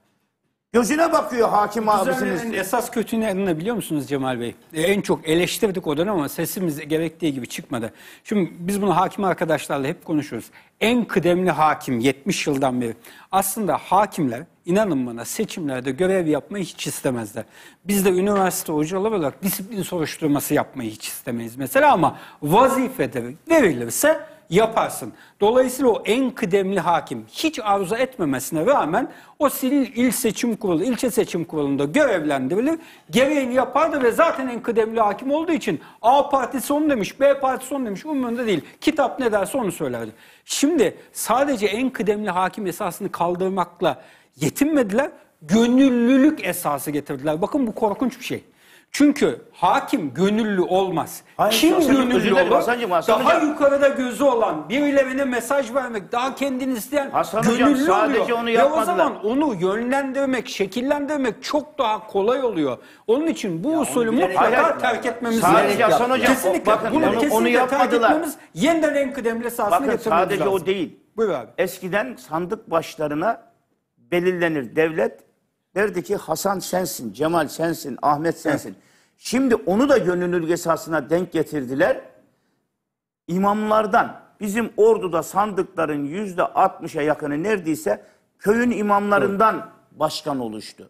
İmamlar da zaten genel itibarıyla AK Parti'ye yakın oldukları için yönlendirmeyi her şey. Ya gönül esasına dayalı sandık devletin memuru sandık başkanı olur mu ya? Olmaz. Bu Olur arada işte. bir şey söyleyeceğim. gönüllülük Ee, olmaz. çok garip Görev şeyler tevdi oluyor. edilir. Bir, bir müsaadenizi isteyeceğim. İyi Parti'de acayip şeyler oluyor. Bakın az önce Buğra Kavuncu görevinden istifa etti. Şimdi de İyi Parti Yerel Yönetimler Başkanı Burak Akburak e, büyük bir onurla yapmış olduğum Yerel Yönetimler Başkanlığı görevimden istifa ediyorum. Büyük kongremizin Türkiye'nin umudunun İyi Parti olduğunu tescillendiği bir kongre olacağını bilinmesini istiyorum. Her daim liderimizin yanında. Garip İyi Parti'de böyle çok üst üste gelişmeler oluyor. Van'la ilgili e, şimdi şu- size gelmeden önce şunu söyleyeceğim Ahmet Yavuz. E, kafamızı çok karıştıran yani aa bu AK Parti'nin işi mi acaba veyahut da bu böyle bir şey mi kurgulandı falan derken AK Parti'nin çok bilindik çok e, eski isimlerinden yani kuruluşunda bile yer almış olan isimlerinden bir takım yorumlar geldi.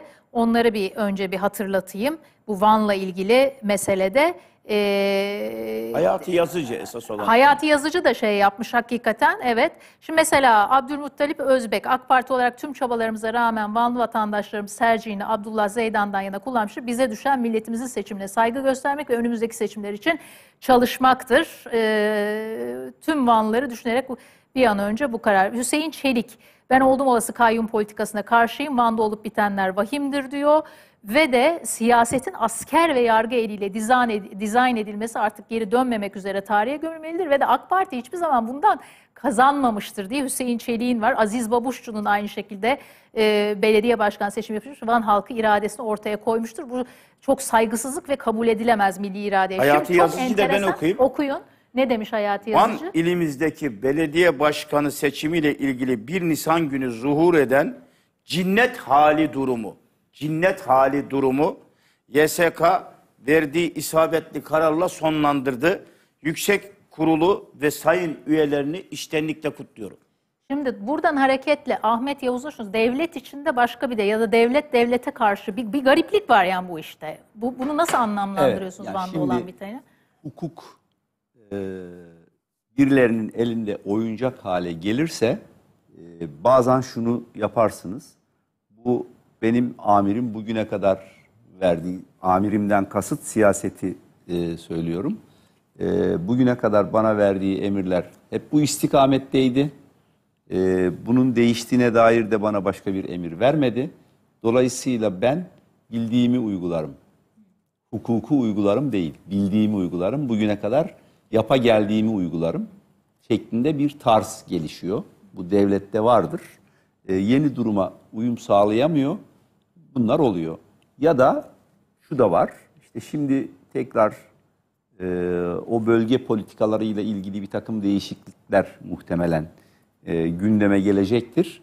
E, bunun ayırdına varmayan ya da bu bu olmasın diyen kendine göre yorum yapanlar bu işten bazı e, çıkar umanlar, e, bir takım çıkarlar umanlar e, bu işi bu şekliyle sokmuş olabilirler. Ya da şu da var.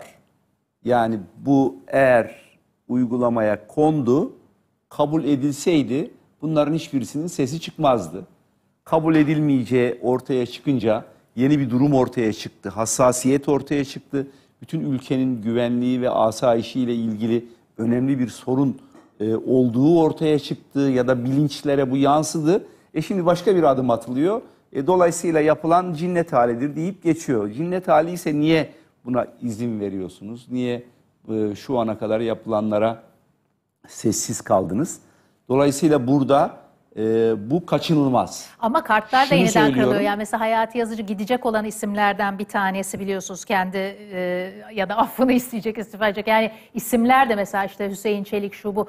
Acaba orada içeride de bir... Hüseyin Şöyle Çelik zaten- orada değil ama. Hüseyin Çelik zaten değil Ya, ama Hüseyin gitmişti Çelik çoktan uzun zamandır zaten. zaten, e, AKP'nin politikalarıyla pek uyumlu olmayan e, tavırlar sergiliyor. Yani AKP'nin içinde de iki çizgi var anladığım kadarıyla. E, bu iki çizgi birbiriyle mücadele ediyor. Ama şu esas mesele şu. Hukuk eğer Anayasa Mahkemesi'nden, Yargıtay'dan, oradan, buradan, mahalli e, yargıdan farklı farklı uygulamalar ortaya konuluyor da bu siyaset tarafından tasvip görüyorsa şimdiye kadar e, her zaman buna benzer şeyleri görmek mümkün. Dolayısıyla devleti yönetenlerin yapması gereken şey şudur. Hukukun üstünlüğünü sağlamak. Hukukun üstünlüğünü yani kendi yaptıkları kanunlara uymuyorlar. Kendi yaptığı kanun ne? Anayasa Mahkemesi'nin kararlarına herkes uyar. Uydular mı? Uymadılar. Dolayısıyla çift çift hukuk e, paralel yapı oluşturur. Peki. Paralel yapı oluşturur.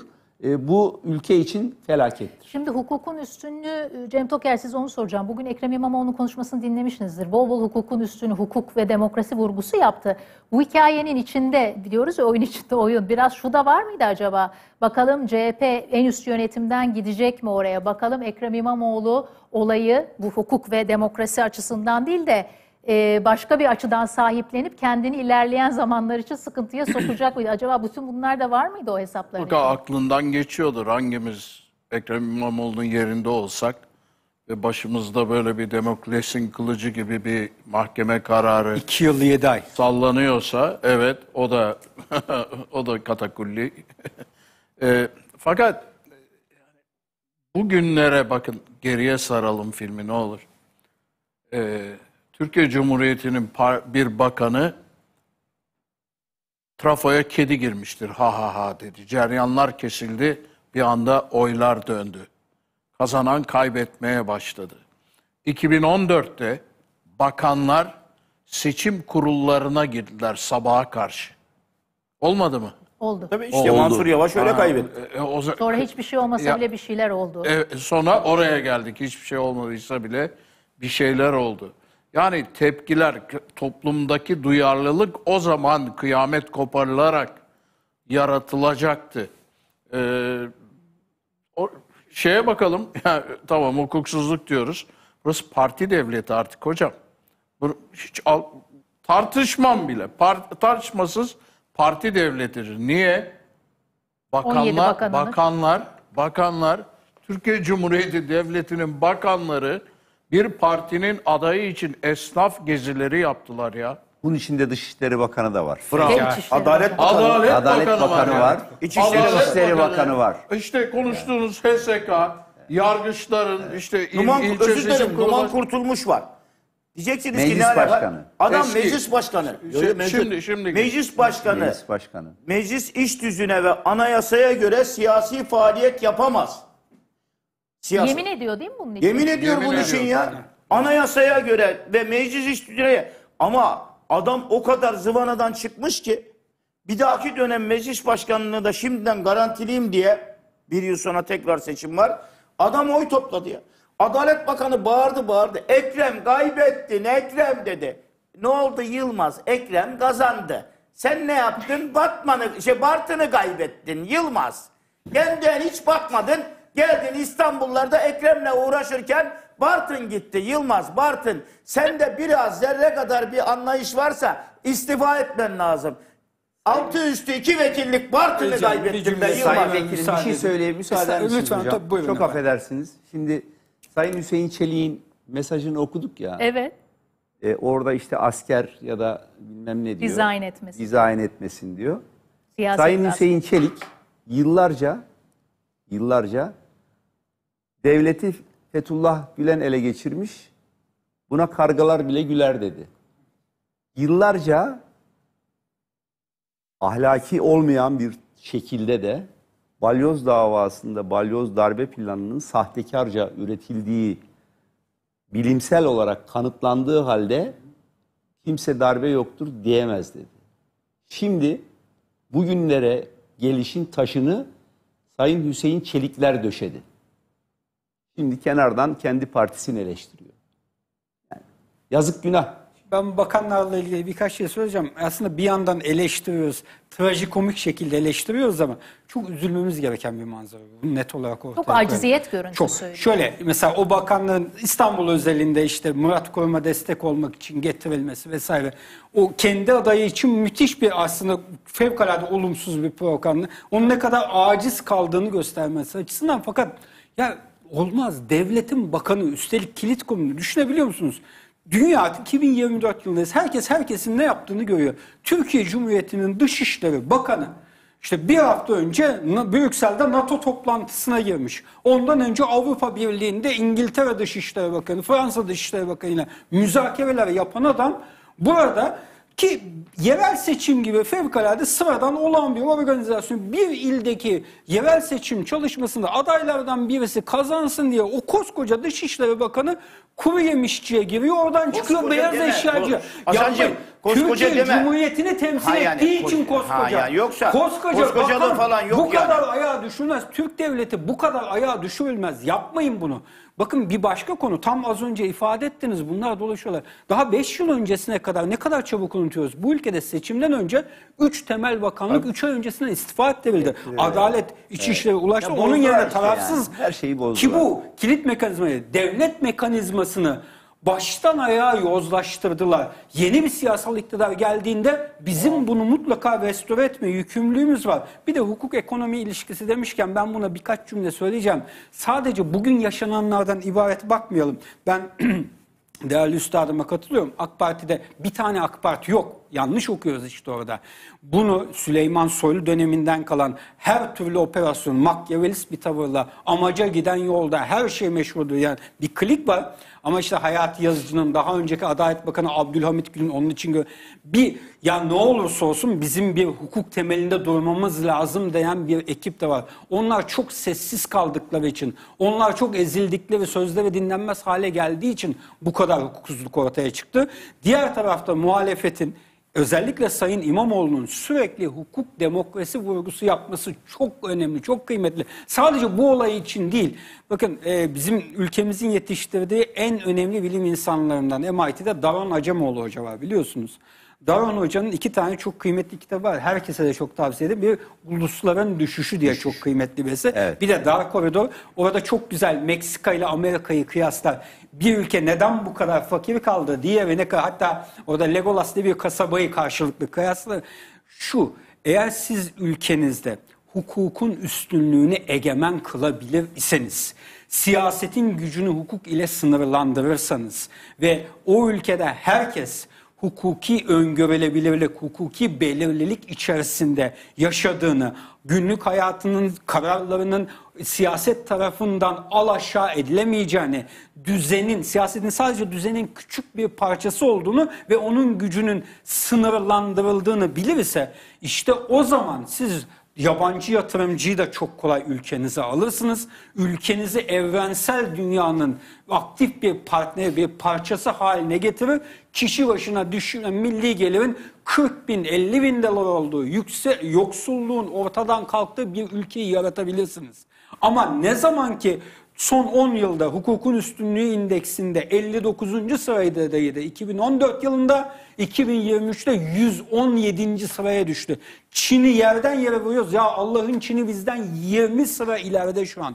Biz eğer bunu toparlar isek, bu saydığımız haksız hukuksuz uygulamalardan ders çıkartır, siyaseti hukuk ile sınırlamayı başarabilirsek, bu yönde bir anlayışı egemen kılabilirsek, inanın Türkiye çok kısa bir zamanda hem ekonomik anlamda hem sosyal yaşam anlamında hem de siyasetin rahatlaması anlamında fevkalade merhale kat edebilir. Bizim ne yapıp edip hukukun üstünlüğünü egemen kılma Bu mecburiyetimiz arada var. şunu da söylemek lazım. Dışişleri Bakanı müsamere öğrencisi gibi oy toplarken Belçika'da Türkler öldürülme Evet. tehlikesiyle karşı, Karşı karşıya karşıya kaldılar. kahveler basıldı. Evet.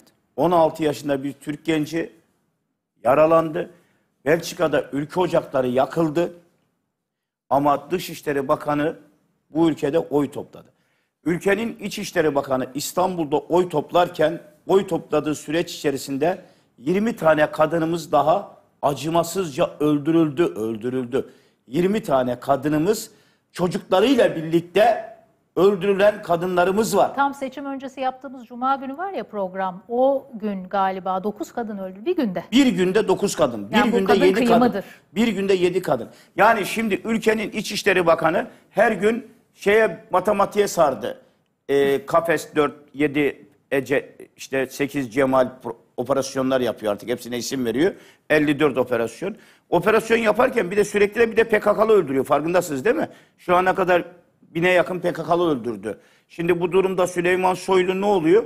Yalancının en önde gideni oluyor. Çünkü Süleyman Soylu terörist sayısı yüzün altına düştü demişti. Ayakkabı numaralarına varana kadar biliyoruz demişti. Ali Yerlikaya geldi geleli 1500'ün üzerinde terörist öldürdüm diyor. PKK'lı öldürdüm diyor. Yakaladıkları da hariç. Ama bu arada bu Ali Yerlikaya kadınların ölümlerine dur diyemiyor. Dur diyemiyor. Bir günde 7 kadın, bir günde 9 kadın öldürülüyor. O Murat Kurum için oy toplamaya gitti. Bir devlet adamı ciddiyeti vardı. Onu da yerle bir etti. Koskoca deme değişimde sen anladım ne demek istediğini şu. Hakan Fidan hakikaten geçen programlarda da söyledim. Mitin başındayken konuşmuyordu mübarek. Biz bir şey zannediyorduk bunu. Hala karizma falan bizi bir vurmaya devirir falan diye bir gece evden alır götürür. Korkumuzdan sokağa çıkamıyorduk Hakan Fidan'ın adını duyduğumuzda. Kekelemeye başlıyorduk. Şimdi geldi müsamere öğrencisi gibi Murat Kurum'u o isteyince lan hiçbir şey yokmuş adamda ya. Şimdi, Yani e, dolayısıyla devlet ayaklar altına aldı. Sadece kendini değil. Şimdi Devleti ayaklar buradan altına şuna aldı. geçmek istiyorum. Hem kadın cinayeti hem siyaseti birleştirelim. Şöyle bir şeyi fark ettim. Ee, arkadaşlardan rica edeceğim. Hem Gaziantep hem Beyoğlu çöpler toplanmıyor. Ee, Beyoğlu'nun ara sokaklarında çöpler toplanmıyor. Halbuki öbür başkan mazbatayı alana kadar eski başkanın e, bu emri vermesi lazım. Aynı şekilde Balıkesir'de başkan Gaziantep. otobüs ücretlerini iptal etmiş ya. Balıkesir'de otobüs ücretlerini iptal etti. İndirimleri kaldırmış ya. Kartları, evet.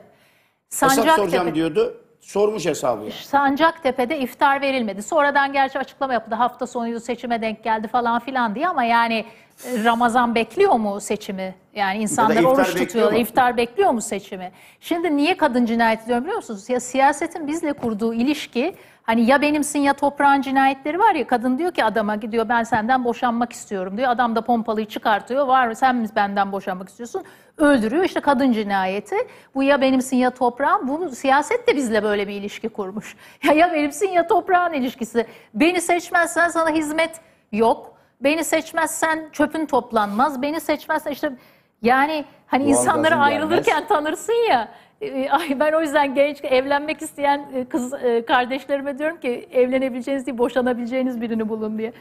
E, hakikaten ayrılırken tanıyorsun. Bakın o görüntüleri Emine rica edeceğim senden. Hem Beyoğlu'nda hem Gaziantep'te e, çöplerin toplanmadığı görüntüler var. Aynı şekilde işte Sancaktepe'de e, iftar verilmediği görüntüler Manisa'da, var. Manisa'da belediye başkanı, Manisa Büyükşehir Belediye Başkanı, Manisa Belediyesi'nin 600 milyar üzerinde parasını çarçur ederken Allah razı olsun yeni seçilen başkan hemen müdahale edip durdurdu. Düşünebiliyor musun? Belediyenin paralarını satıyorlar. Birçok belediyede şu anda tazminatını vererek o kart bankamatik memurlarının tazminatını ödeyerek Çıkartıyorlar. işten çıkartıyorlar ki yeni gelenden sıkıntı yaşamasın, tazminatını da alsın. Bir de üstüne üstlük bedel ödemesin diye. Bursa'da mesela. Yani Bursa'da yapıyorlar. Hakikaten şu an o kadar korkunç şeyler dönüyor ki ya yazık ya. 22 yıl yönettiğiniz ülkede geldiğiniz duruma bakın, acziyete bakın ya. Hem millete güvenmek lazım diyorsunuz. Milletin kararına saygılı olmak lazım diyorsunuz. Ne yapmışlar? Demek ki 22 yıldır ülkeyi o kadar pervasızca yönettiler ki bir daha gitmeyeceklerini düşündüler. Geldik artık her yer bizim dediler ve şu an bedelini ödüyorlar. Şey, Şehit bir- Kamil'i kim Fatura kazanmıştı? kesildi Nereye? ha. Şehit Kamil'i kim kazanmıştı ki? İşte Şehit Kamil. ay, CHP kazanınca Ha, CHP kazandı. Şehit Hı. Kamil'i e, o yüzden kalkmıyor Anladım. böyle şeyler. Bu arada e, e, Manisa'da hazır mı? Manisa'da da çok acayip şeyler oluyor hakikaten. Bu Hint atasözü Cem Toker iyi bilir. E, birisi koltuktan kalkmamakta ısrar ediyorsa muhakkak altını pisletmiştir diye. Yani büyük kalkta koltuktan kalkmamakla ilgili ve devamlı bir paralar bir bir şeyler Tuzla ile ilgili en son Ekrem İmamoğlu söyledi. Ya Tuzla'da bir şeyler dönmüş ve bir türlü mazbatayı vermiyor falan gibi. Ve 20 yıl içinde en tepeden en aşağıya kadar bütün kademelerde yargı bize dokunamaz nasıl olsa. Ne yaparsak yapalım yargı bize dokunamaz. Adam kendi çıktı stüdyoda söyledi kendi milletvekilleri. Yasama bizde, yürütme bizde, yargı bizde, her şey bizde diye. Bu algıdan kaynaklanan her türlü yoz... Bakın ben şeye de inanıyorum ha. 2019'daki seçimin ertelenmesi Büyükşehir Belediyesi'nde bir temizlik yapmak için de o 2-3 ay içinde. Ha, o arada o temizlik O mi arada yapıldı? kim Esas- bilir neler, esas oydu ne ya. deliller Şimdi de yok o. edildi. Şu anda Şimdi Beykoz'da e, öyle. Fer- e, Gazi Ferdi Osman Zeyrek'in Paşa'da zamanı öyle. kısıtlı ve şu anda bizimle beraber. Sayın Zeyrek hoş geldiniz yayınımıza. Hoş bulduk Ece Hanım ve misafirleri. Nasılsınız? Çok teşekkür ederiz. Şimdi çok acayip şeyler oluyor galiba Manisa'da değil mi? Yani siz e, Aynen. kasayı boşaltmaya çalışırken suçüstü yakalandılar. E, bir de e, gazeteci Muhammed Vefa doğrular mısınız? Şöyle bir şey yazmış. Korkunç bilgiler geliyor. Cengiz Ergün ve adamları birçok şirket ve kurumda dosyaları yok ediyor. Manisa'da Türkiye tarihinin en büyük yolsuzluk dosyalarından biri ortaya çıkabilir. Çökülen şirketler, kara para, usulsüz işletilen şirketler gibi bir şey yazmış. Doğrular mısınız bunu?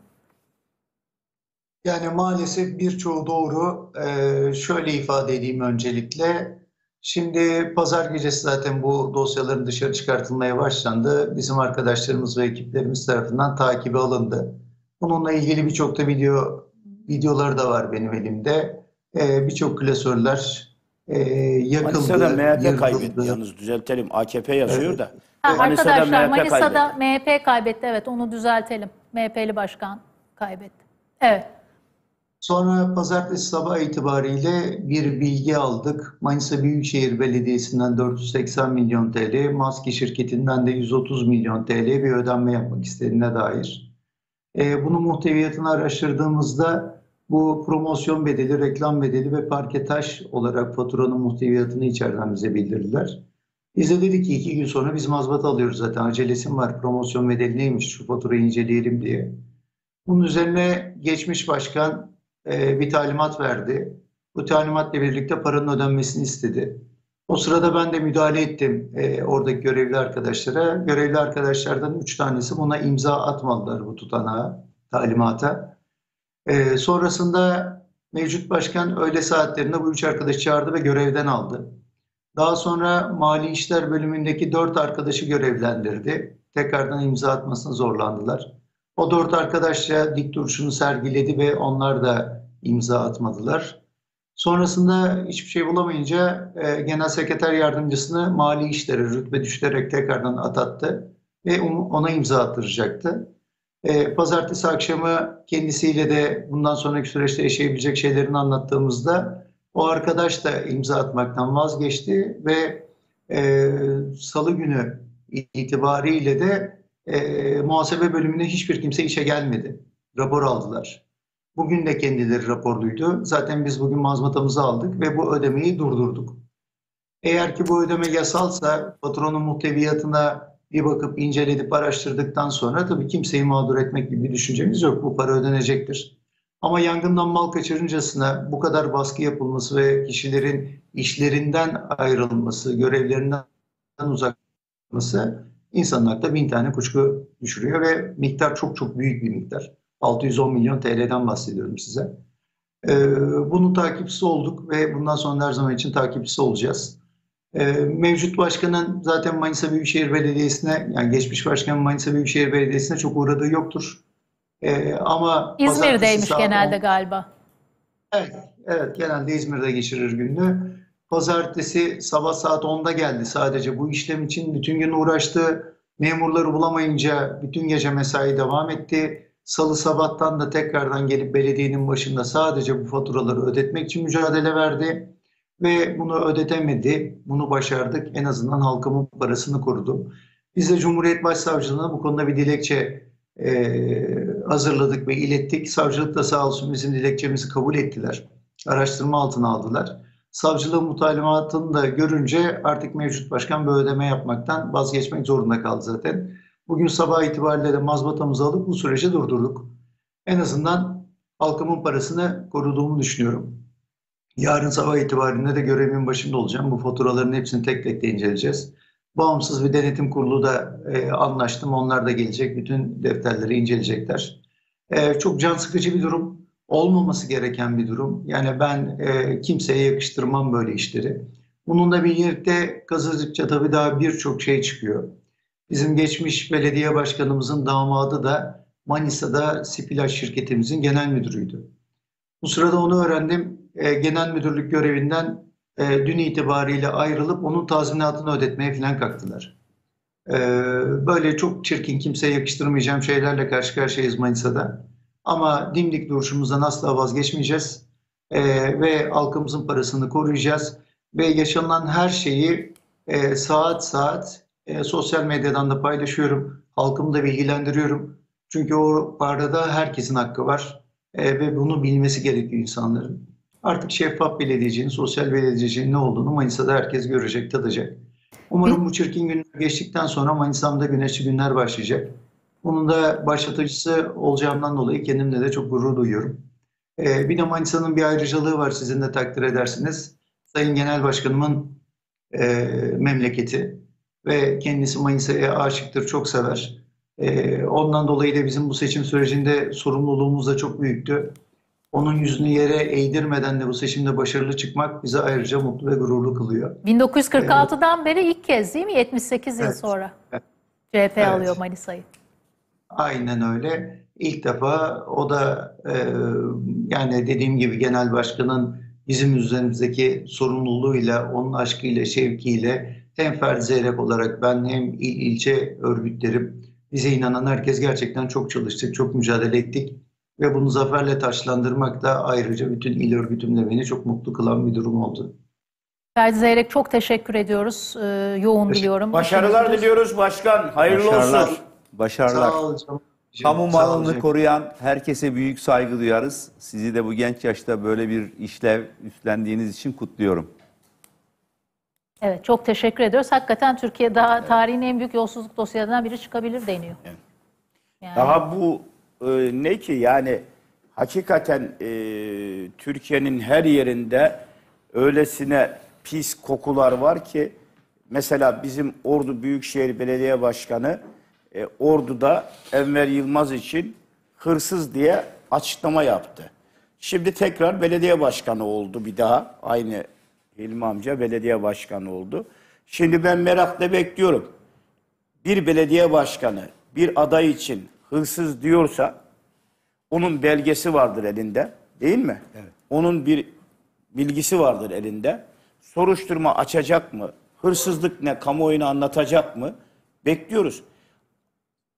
Belediye başkanı adayı olan Enver Yılmaz da mevcut belediye başkanı için öyle şeyler söyledi ki hakikaten ordulu olmaktan utanç duydum. Yani o yani yazıklar olsun. Öyle hırsızlıklar konuşuluyor, öyle usulsüzlükler konuşuluyor ki belediyenin borçlanma rakamları öyle korkunç ki yapılan bir iş var mı diye orduya bakıyorsun hiçbir iş yok. Ha ordulu Allah var. Yine e, Hilmi amcayı seçti.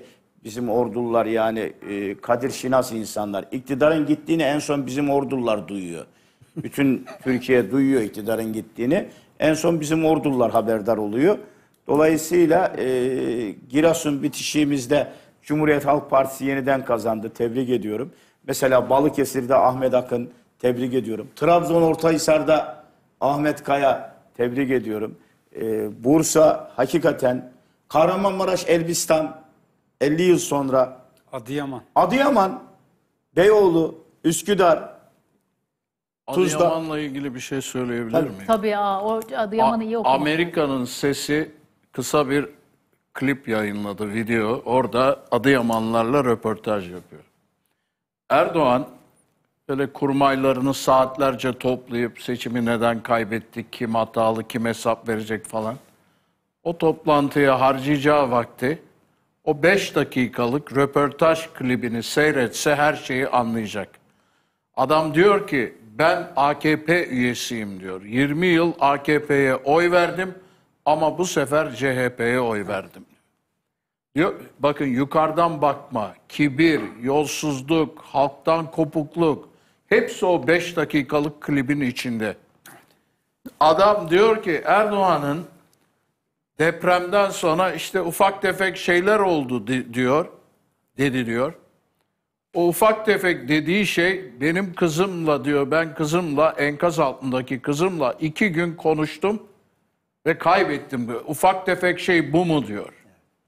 Yani Adıyaman herhalde o, o beni çok etkiledi. O röportajlar eee, işte yolsuzluğundan tutun halktan kopuklu ekonomik kriz biz böyle şey görmedik diyor adam. Adıyaman halkı koyun değildir. Adama silleyi böyle vururlar Bravo, diyor. bravo. Onu da diyor. Tebrik Ecem, ederim. ben bir şey Adıyaman'daydım iki hafta önce. Çünkü Tamam, siz söyleyin. Evet, Buyurun hocam. Türkiye Barolar Birliği'nin etkinliği için gittik. Orada e, Adıyaman Barosu'ndaki meslektaşlarımızla tam bu tespitleri bunları konuşma imkanı bulduk. Yani bakın yerel seçim özelinde konuşacaksak adayın ne kadar önemli, ne kadar kıymetli olduğunu yerel seçimde orada görüyorsun. Bir önceki seçime bakın Adıyaman'da.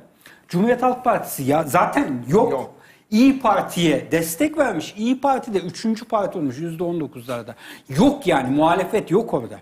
Ama önce milletvekili şimdi belediye başkanı seçilen Sayın Abdurrahman Tutdere. Öylesine bu depremde özünde taşın altına elini sokup orada çünkü yani şimdi bunlara da hiç kimseyi e, kötüleme vesaire değil. AFAD diyorsunuz. Orada avukat arkadaşlar anlatıyor. AFAD'ın başkanı, il başkanı, AFAD'ın sokakta gezen işsiz, güçsüz, hiçbir yeteneği olmayan, hiçbir özelliği olmayan insanları sırf yandaşlık nedeniyle, ideolojik bilmem ne getirdiler bu koltuklara oturttular. Sonra büyük afet oldu. Ne yapacağını bilmiyor yahu. Yani Biliyor, biliyor. Afet ku- kurtarmayı bilmiyor. Gelen yardımı nasıl dağıtacağını, nasıl organize olacağını, onu nasıl yapacağını hatta avukat arkadaşlar diyordu ki Barolar Birliği'nin gelen o yardımları biz dedik ya siz karışmayın afet olarak biz yapacağız. Avukatlar organize olup dağıtıyorlar. Bu kadar aslında yerelde de bir çökme ve Abdurrahman Tutlu burada ön plana çıkıyor. Her eve neredeyse dokunmuş. Devletin olamadığı yerde işte yerel yöneticinin önemi.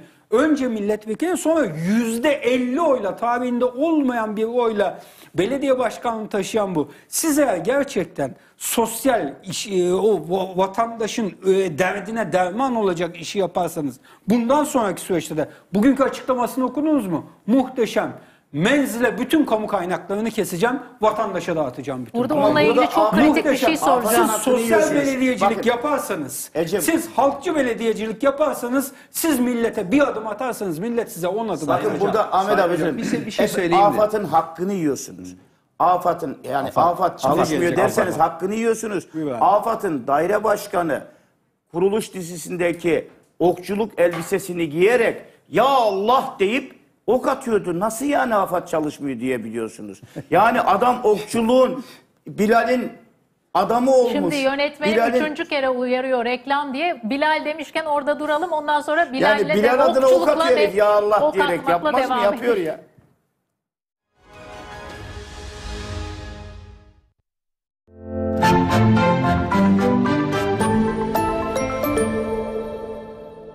Vodafone Business IoT çözümleriyle işleriniz sizin kontrolünüzde. Red Enerji ile %30'a varan elektrik tasarrufu sağlayabilirsiniz. Görüntü işleme sistemiyle siz de mağazanızın takibini yaparak hangi reyon daha fazla ziyaret edilmiş analizlerle öğrenebilirsiniz. Ya da araç takip sistemiyle araçlarınızın anlık konumunu kolaylıkla takip edebilirsiniz.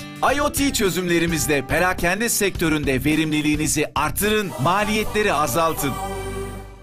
Bitcoin gözlerinin önünde artıyor, artıyor. Ama sen ne zaman alacağını bilmiyorsan ortağa gel. En iyi yatırımcıları incele, tek tuşla aynı yatırımı yap. Üstelik şimdi 1000 TL bonusla yatırıma anında başla. Ortak. Hoş geldin ortak. Annemiz tostu un çat ekmeğiyle şimdi daha çok tatlı oluyor. Hadi bir tat, beni tat, un tat. Çankaya.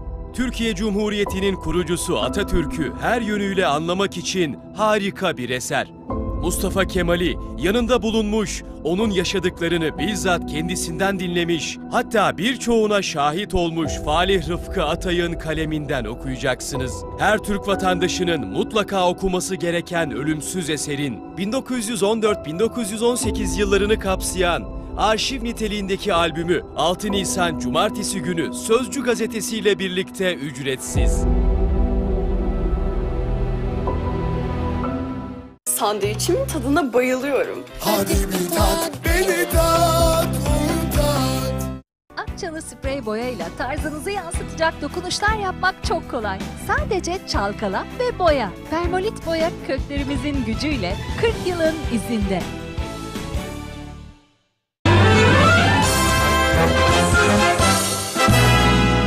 Efsane mizah dergisi Gırgır geri döndü. Gülmeye doyamayacaksınız. Karikatür ve fıkralarla dop dolu Gırgır her pazar sözcüyle birlikte ücretsiz. Mutlaka alın. Dünyaya iyi bakın. Sürdürülebilirlik çevre için olduğu kadar insan için, toplumun gelişimine katkı sağlamak için. Akbank tam da bu sebeple sürdürülebilir yarınlar için çalışıyor. Eğitimden gönüllülüğe, yatırımdan girişime, hayatın her alanında toplumsal kalkınmayı destekliyor. İnsan için, hepimiz için. Bana sorup duruyorlar. En iyi tatil fırsatı nerede? İşte burada. Setur fırsatlarıyla yalnızca %25'ini şimdi öde, tatilini garantile. Üstelik 7500 TL'ye varan World Puan hediyesiyle. Aradığın tatil Setur.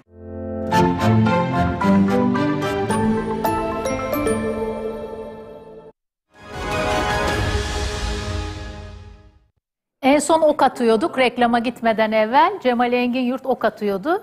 Ben atmıyordum. Kim atıyordu? Yani Hasan Bey diyor ya afat iş yapmıyor, çalışmıyor dediler liyakat biz yapalım. Liyakat sahibi insanlar afata seçilmedi. Yo ben hiç ilgisi olmadığını düşünüyorum. Afata daire başkanı yapılan adam Kuruluş Osmancık dizisindeki elbiseleri giymiş, oku eline almış. Bilal Erdoğan için ya hak, ya Allah deyip e, deprem döneminde ok atıyordu adam yani. Ve bayağı da başarılıydı, vuruyordu attığı yere oku. Elbise de yakışmıştı. Adam savaşa gider gibi çalışıyordu yani. Faaliyeti iyiydi yani. Sonuçta Bilal Erdoğan'a hizmet etmek, halka hizmet etmekten daha önemli. Yani Bilal Erdoğan dediğin saltanatımızın şehzadesi, e, öyle bir şehzade ortada dururken hünkârın evladına karşı hizmet etmek, millete hizmet etmekten daha iyidir yani. Şimdi biraz önce bir ifade kullandınız. Dediniz ki ordulular bunu biraz geç anladı dediniz. Geç anlıyor. Anlıyor dediniz. Evet. Ben de İktidarın şimdi- gittiğini ben de- geç anlıyorlar. Ben de geçen gün e, güzel kitap var. E, bayağı Birinci Dünya Savaşı'nı falan çok iyi anlatıyor. David Fronki'nin e, Barış'a Son Veren Barış diye. Orada bir ifade dikkatimi çekti. Bu Sykes-Picot anlaşmaları vardır ya Orta Doğu'yu paylaşan Fransızlarla İngilizler. O e, Sykes çok ilginç bir adam e, ve bu bölgeyi çok iyi biliyor. Zaten ona da görev veriyorlar bölge politikalarını tayin etsin diye. Şubat 1915'te Churchill'e bir mektup yazıyor. Şimdi arka planı şu, Boğazlar donanmayla zorlanacak ve Osmanlı'nın merkezi ele geçirilecek. Dolayısıyla işte Ruslara la temas sağlanacak vesaire falan. Adam bir şey yazmış. Çok ilginç bir mektupta bu e, yer alıyor. Türkler düşünecek zaman bırakıldığında her zaman heybetlileşirler diyor. Düşünecek zaman bırakıldığında diyor. Yani burada tabii biraz e, Bizim ordular yoğun olduğu için düşünecek zaman bulamıyorlar demek ki. ya bilmiyorum nedense belki sabırlılar, belki e, karşındakine çok fazla kredi veriyor. Biraz fazla uzun düşündü Türk milleti bu iş konusunda. Çünkü e, göya işte ileri demokrasiye geçecektik.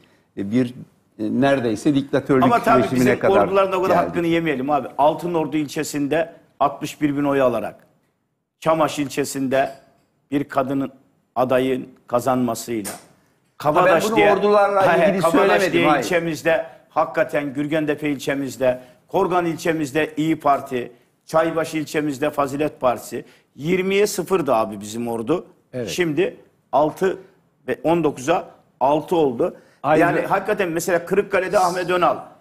Çok severim mecliste de milletvekili. Sayın Vekilim, ben- 50 yıl sonra Kırıkkale'yi kazandı. Sayın Millette Vekilim, bir uyanış var yani. istiyorum. Şimdi her milletin kendine özgü e, nitelikleri var. Yani bir takım genetiğinden gelen. Bizim milletimiz gerçekten çok sabırlı ve karşısındakine çok fazla şans veriyor. Ya bunda tabii e, çıkar ilişkisi var, şu var, bu var falan filan ama gerçekten e, bu uyanış ordu için değil, bütün Türkiye için oldu. Artık hukuk devletinin sadece kendisine yapılan hukuksuzlukla hukuksuzluğa karşı çıkarak kurulamayacağını anladı. Başkasına yapılan hukuksuzluklara da karşı çıkmaya başladı. Dolayısıyla bu Türkiye için önemli bir dönemeç haline Bir geldi. de bir izleyicimiz demiş ki Bilal e, Bey veya işte kimse o kişi AFAD'ın başkanı ok atarak aslında CHP özen, CHP'ye özendirmiş seçmeni. O Hayır, kadar şöyle bir şey de var tabii. Mesela aslında vatandaşın espri yeteneği güzel. Bir yerde okumuştum. AKP'liler Ankara seçimi için söylüyorum tabii bunu. Oyları Altınok'a verin deyince Ankaralı Altıok anlamış.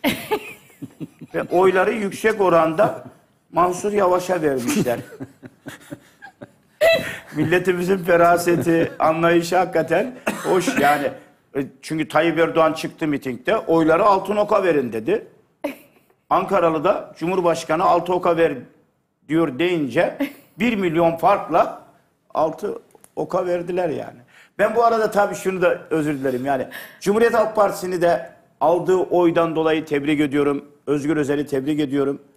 Türkiye, Türk milletini tebrik ediyorum ama eee Cem abimin dediğine gelmek istiyorum. Ülke kötü bir yere gidiyor. Bugün enflasyon yüzde 68, biraz da oralara gelelim. Yüzde 68 oldu. Enak rakamlarıyla yine yüzde 128'in üzerinde. Bankalar faizleri yüzde 72'ye çıkarttılar. E, petrolün, Brent petrolün varili bugün itibariyle 86 doları geçti. E, Putin gelecek birkaç gün sonra 31 milyar dolar bizden alacağı olan e, doğalgaz parasını talep edecek.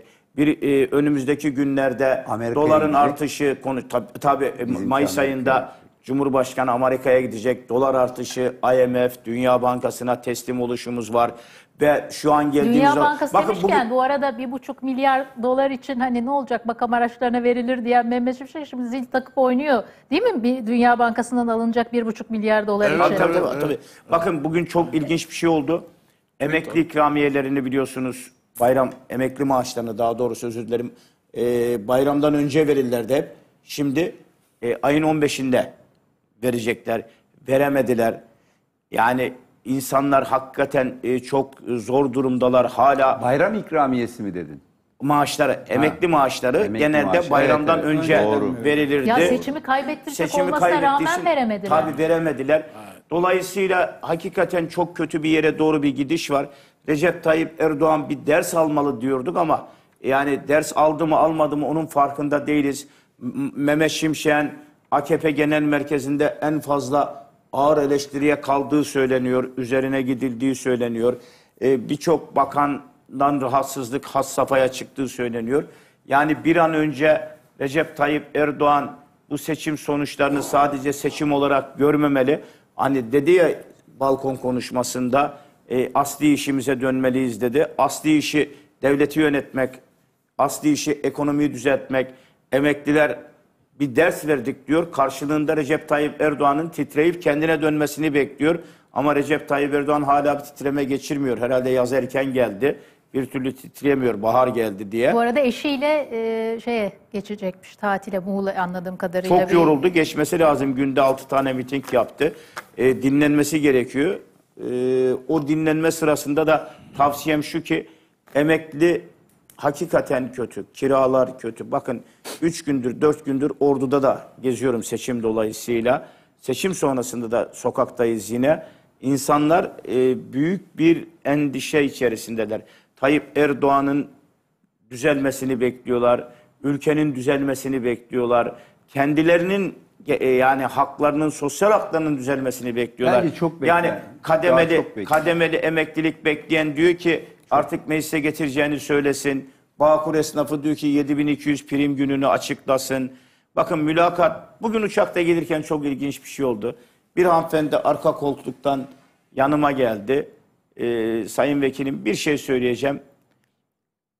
96 aldı kaymakamlıktan dedi. Çok yakınım.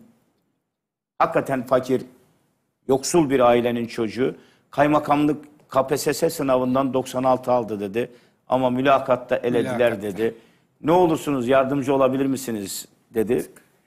Bir şey diyemedim. Çünkü ben o çocuğa ne diyebilirim?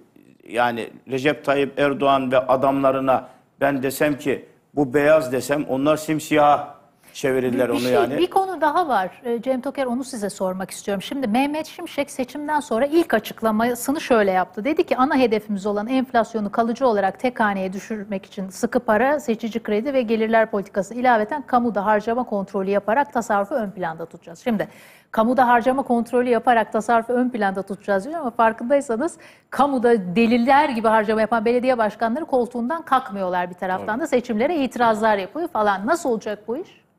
Yani yapılabilir İşte bir şey mi bu? tutarsızlık var. Bir kere şunu söyleyeyim. Erdoğan'ı tanıyoruz 20-25 senedir.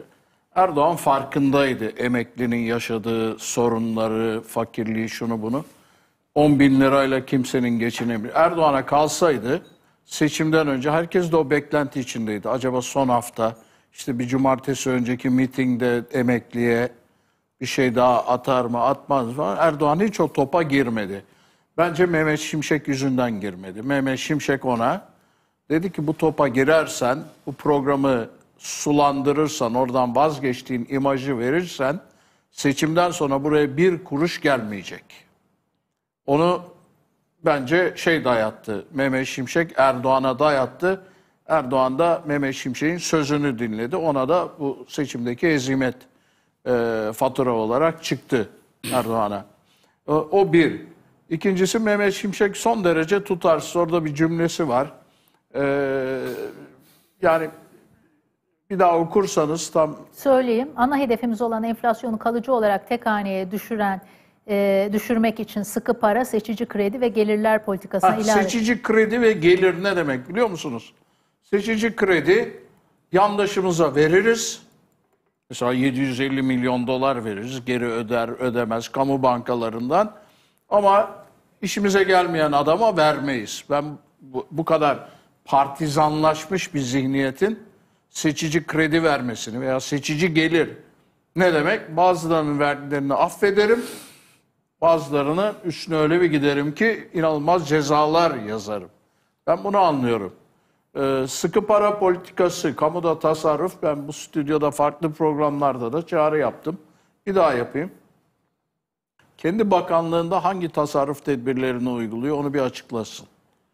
Ama herkesi tasarruf tedbirine çağırıyor ama öyle hiç öyle bir şey yok. Daha geçen hafta seçimden önce Urfa Belediyesi kaç paralık almış ya? Milyonlarca dolarlık, onu dolara çevirince daha anlam ifade ediyor.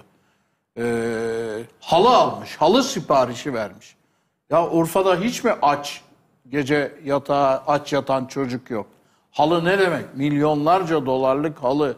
Altına Değil mi? süpürülmesi gereken çok Halı- şey var. Bir de Urfa? Urfa sıcak bir yer yani halıya ne ihtiyaç var? Yani şimdi kim- kimden alıyorlar acaba? Demin Manisa'dan bağlanan arkadaş bir rakam telaffuz etti.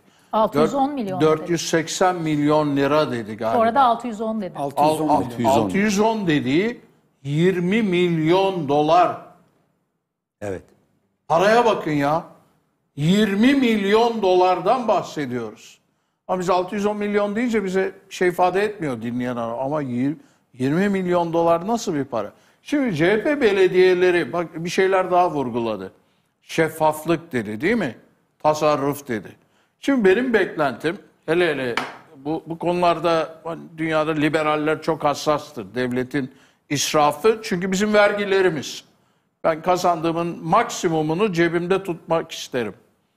Ee, şimdi belediyeler bence kim sorumluysa CHP'de bu yeni seçilen belediyeler ya internet sitelerinde bütçelerini yayınlasınlar arkadaş. Ne geldi ne gitti. Şeffaflık budur. Her ay güncelleyebilir bütçesini. Bana bu geldi, buraya ödemem, buraya harcadım, bunu bunu yaptım. Cem Bey pardon. Ben Tugay komutanıydım. Tek bir kışlaydı. Her ay askerlere şu kadar para girdi. Şu maksatla şuraya harcandı. Hem devlet bütçesinden yani Tabii. hem de kantinden şu kadar para kazandık. Gördünüz mü? Şu maksatla işte size şu yapıldı, şu yapıldı, şu önümüzdeki ayda şunlar şunlar yapılacak diye hesap veren bir adamdım. Bitti. Yani, Yani bunu bu, şimdi- bunu e, bu bu to- bu topluma yerleşmezse bu bu topluma yerleşmezse önümüzdeki dönem daha büyük felaket bekler Bir, bir şey daha bekliyorum CHP'li belediyelerin yapması gereken. Yani benim partim belediye başkanlığı kazansa onu dayatırdım.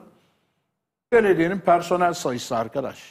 Ben o belediyelerin arpalık haline gelmesini istemiyorum. Partizan arpalık haline gelmesini.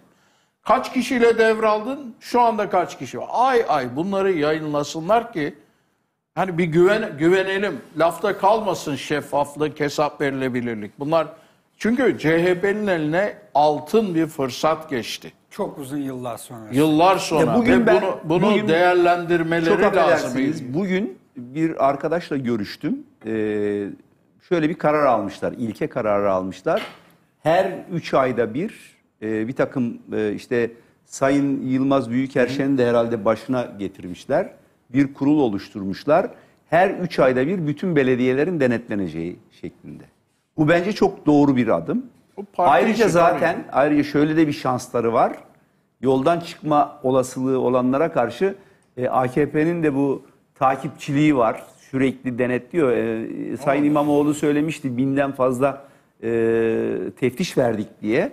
E, bu bence e, önemli bir şey. Yani bunu mutlaka sizin belirttiğiniz gibi ne geldi belediyeye, ne girdi, ne çıktı bunu halka açıklamaları lazım. Ve mahalle mahallede açıklamaları lazım. Sokak sokak açıklamaları lazım. Yani bunun. halkı ikna edecek şekilde Evet. hesap ver. Bir şey söyleyeyim ben size. Var mı vaktim? Var var. Ha, şunu söyleyeyim. Bakın CHP'nin üstüne 89 kaç sene oluyor? 30 küsür sene. Evet. 35 sene Evet, 35 önce sene. yapışmış bir damgadan hala kurtulamadılar. Evet, doğru. Herkes İSKİ skandalı. İSKİ skandalı. Şimdi o İSKİ skandalını gözyaşları içinde bırakacak neler dönüyor Türkiye'de. Tabii, tabii. Ama CHP'nin hani bir imajı varsa yolsuzluk şu bu ona karşı olduğunu, hukuk devletine, hesap verilirliğe falan önem veriyorsa bunları çok iyi denetlemesi lazım.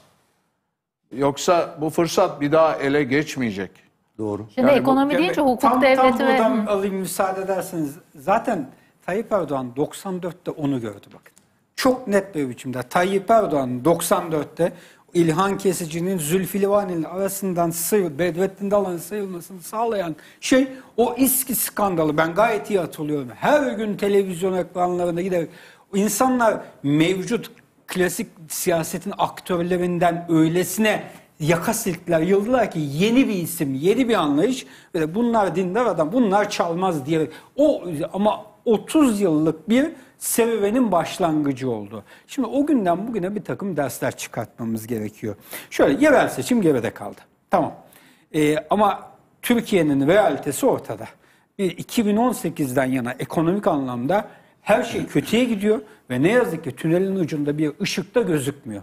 2019'un ardından biliyorsunuz şeyin ayrılmasından damat beyin ismi neydi? Berat Albayrak. Berat Albayrak'ın ayrılmasından sonra o bir Naci Hoca dönemi var ama 2021 Eylül ile işte NAS yeni ekonomi modeli adı altında %19'daki faizlerle mücadele edeceğiz diyerek ekonomi biliminin gerçekleriyle dünyayla inatlaşarak siz bir e, ters yöne gidersiniz. Hangi ülke dünyada bunu yapsa ne yazık ki bu tokadı yerdi.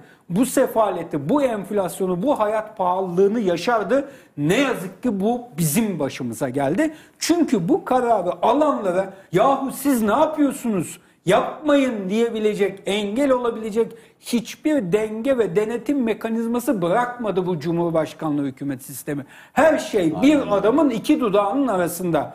Yanlışın temelini burada görmemiz lazım. E geldiğimiz nokta %19 çok fazla dediğimiz faiz son artırımla birlikte %50 dünyada faizin en yüksek olduğu dördüncü ülkeyiz ve o günden bugüne yaşananlar ülkede hayat pahalılığını, enflasyonu hepsini zırlattı. Stagflasyonun yaşandığı bir ülke olduk. Siz konuşurken hep şeyi fark ediyorum.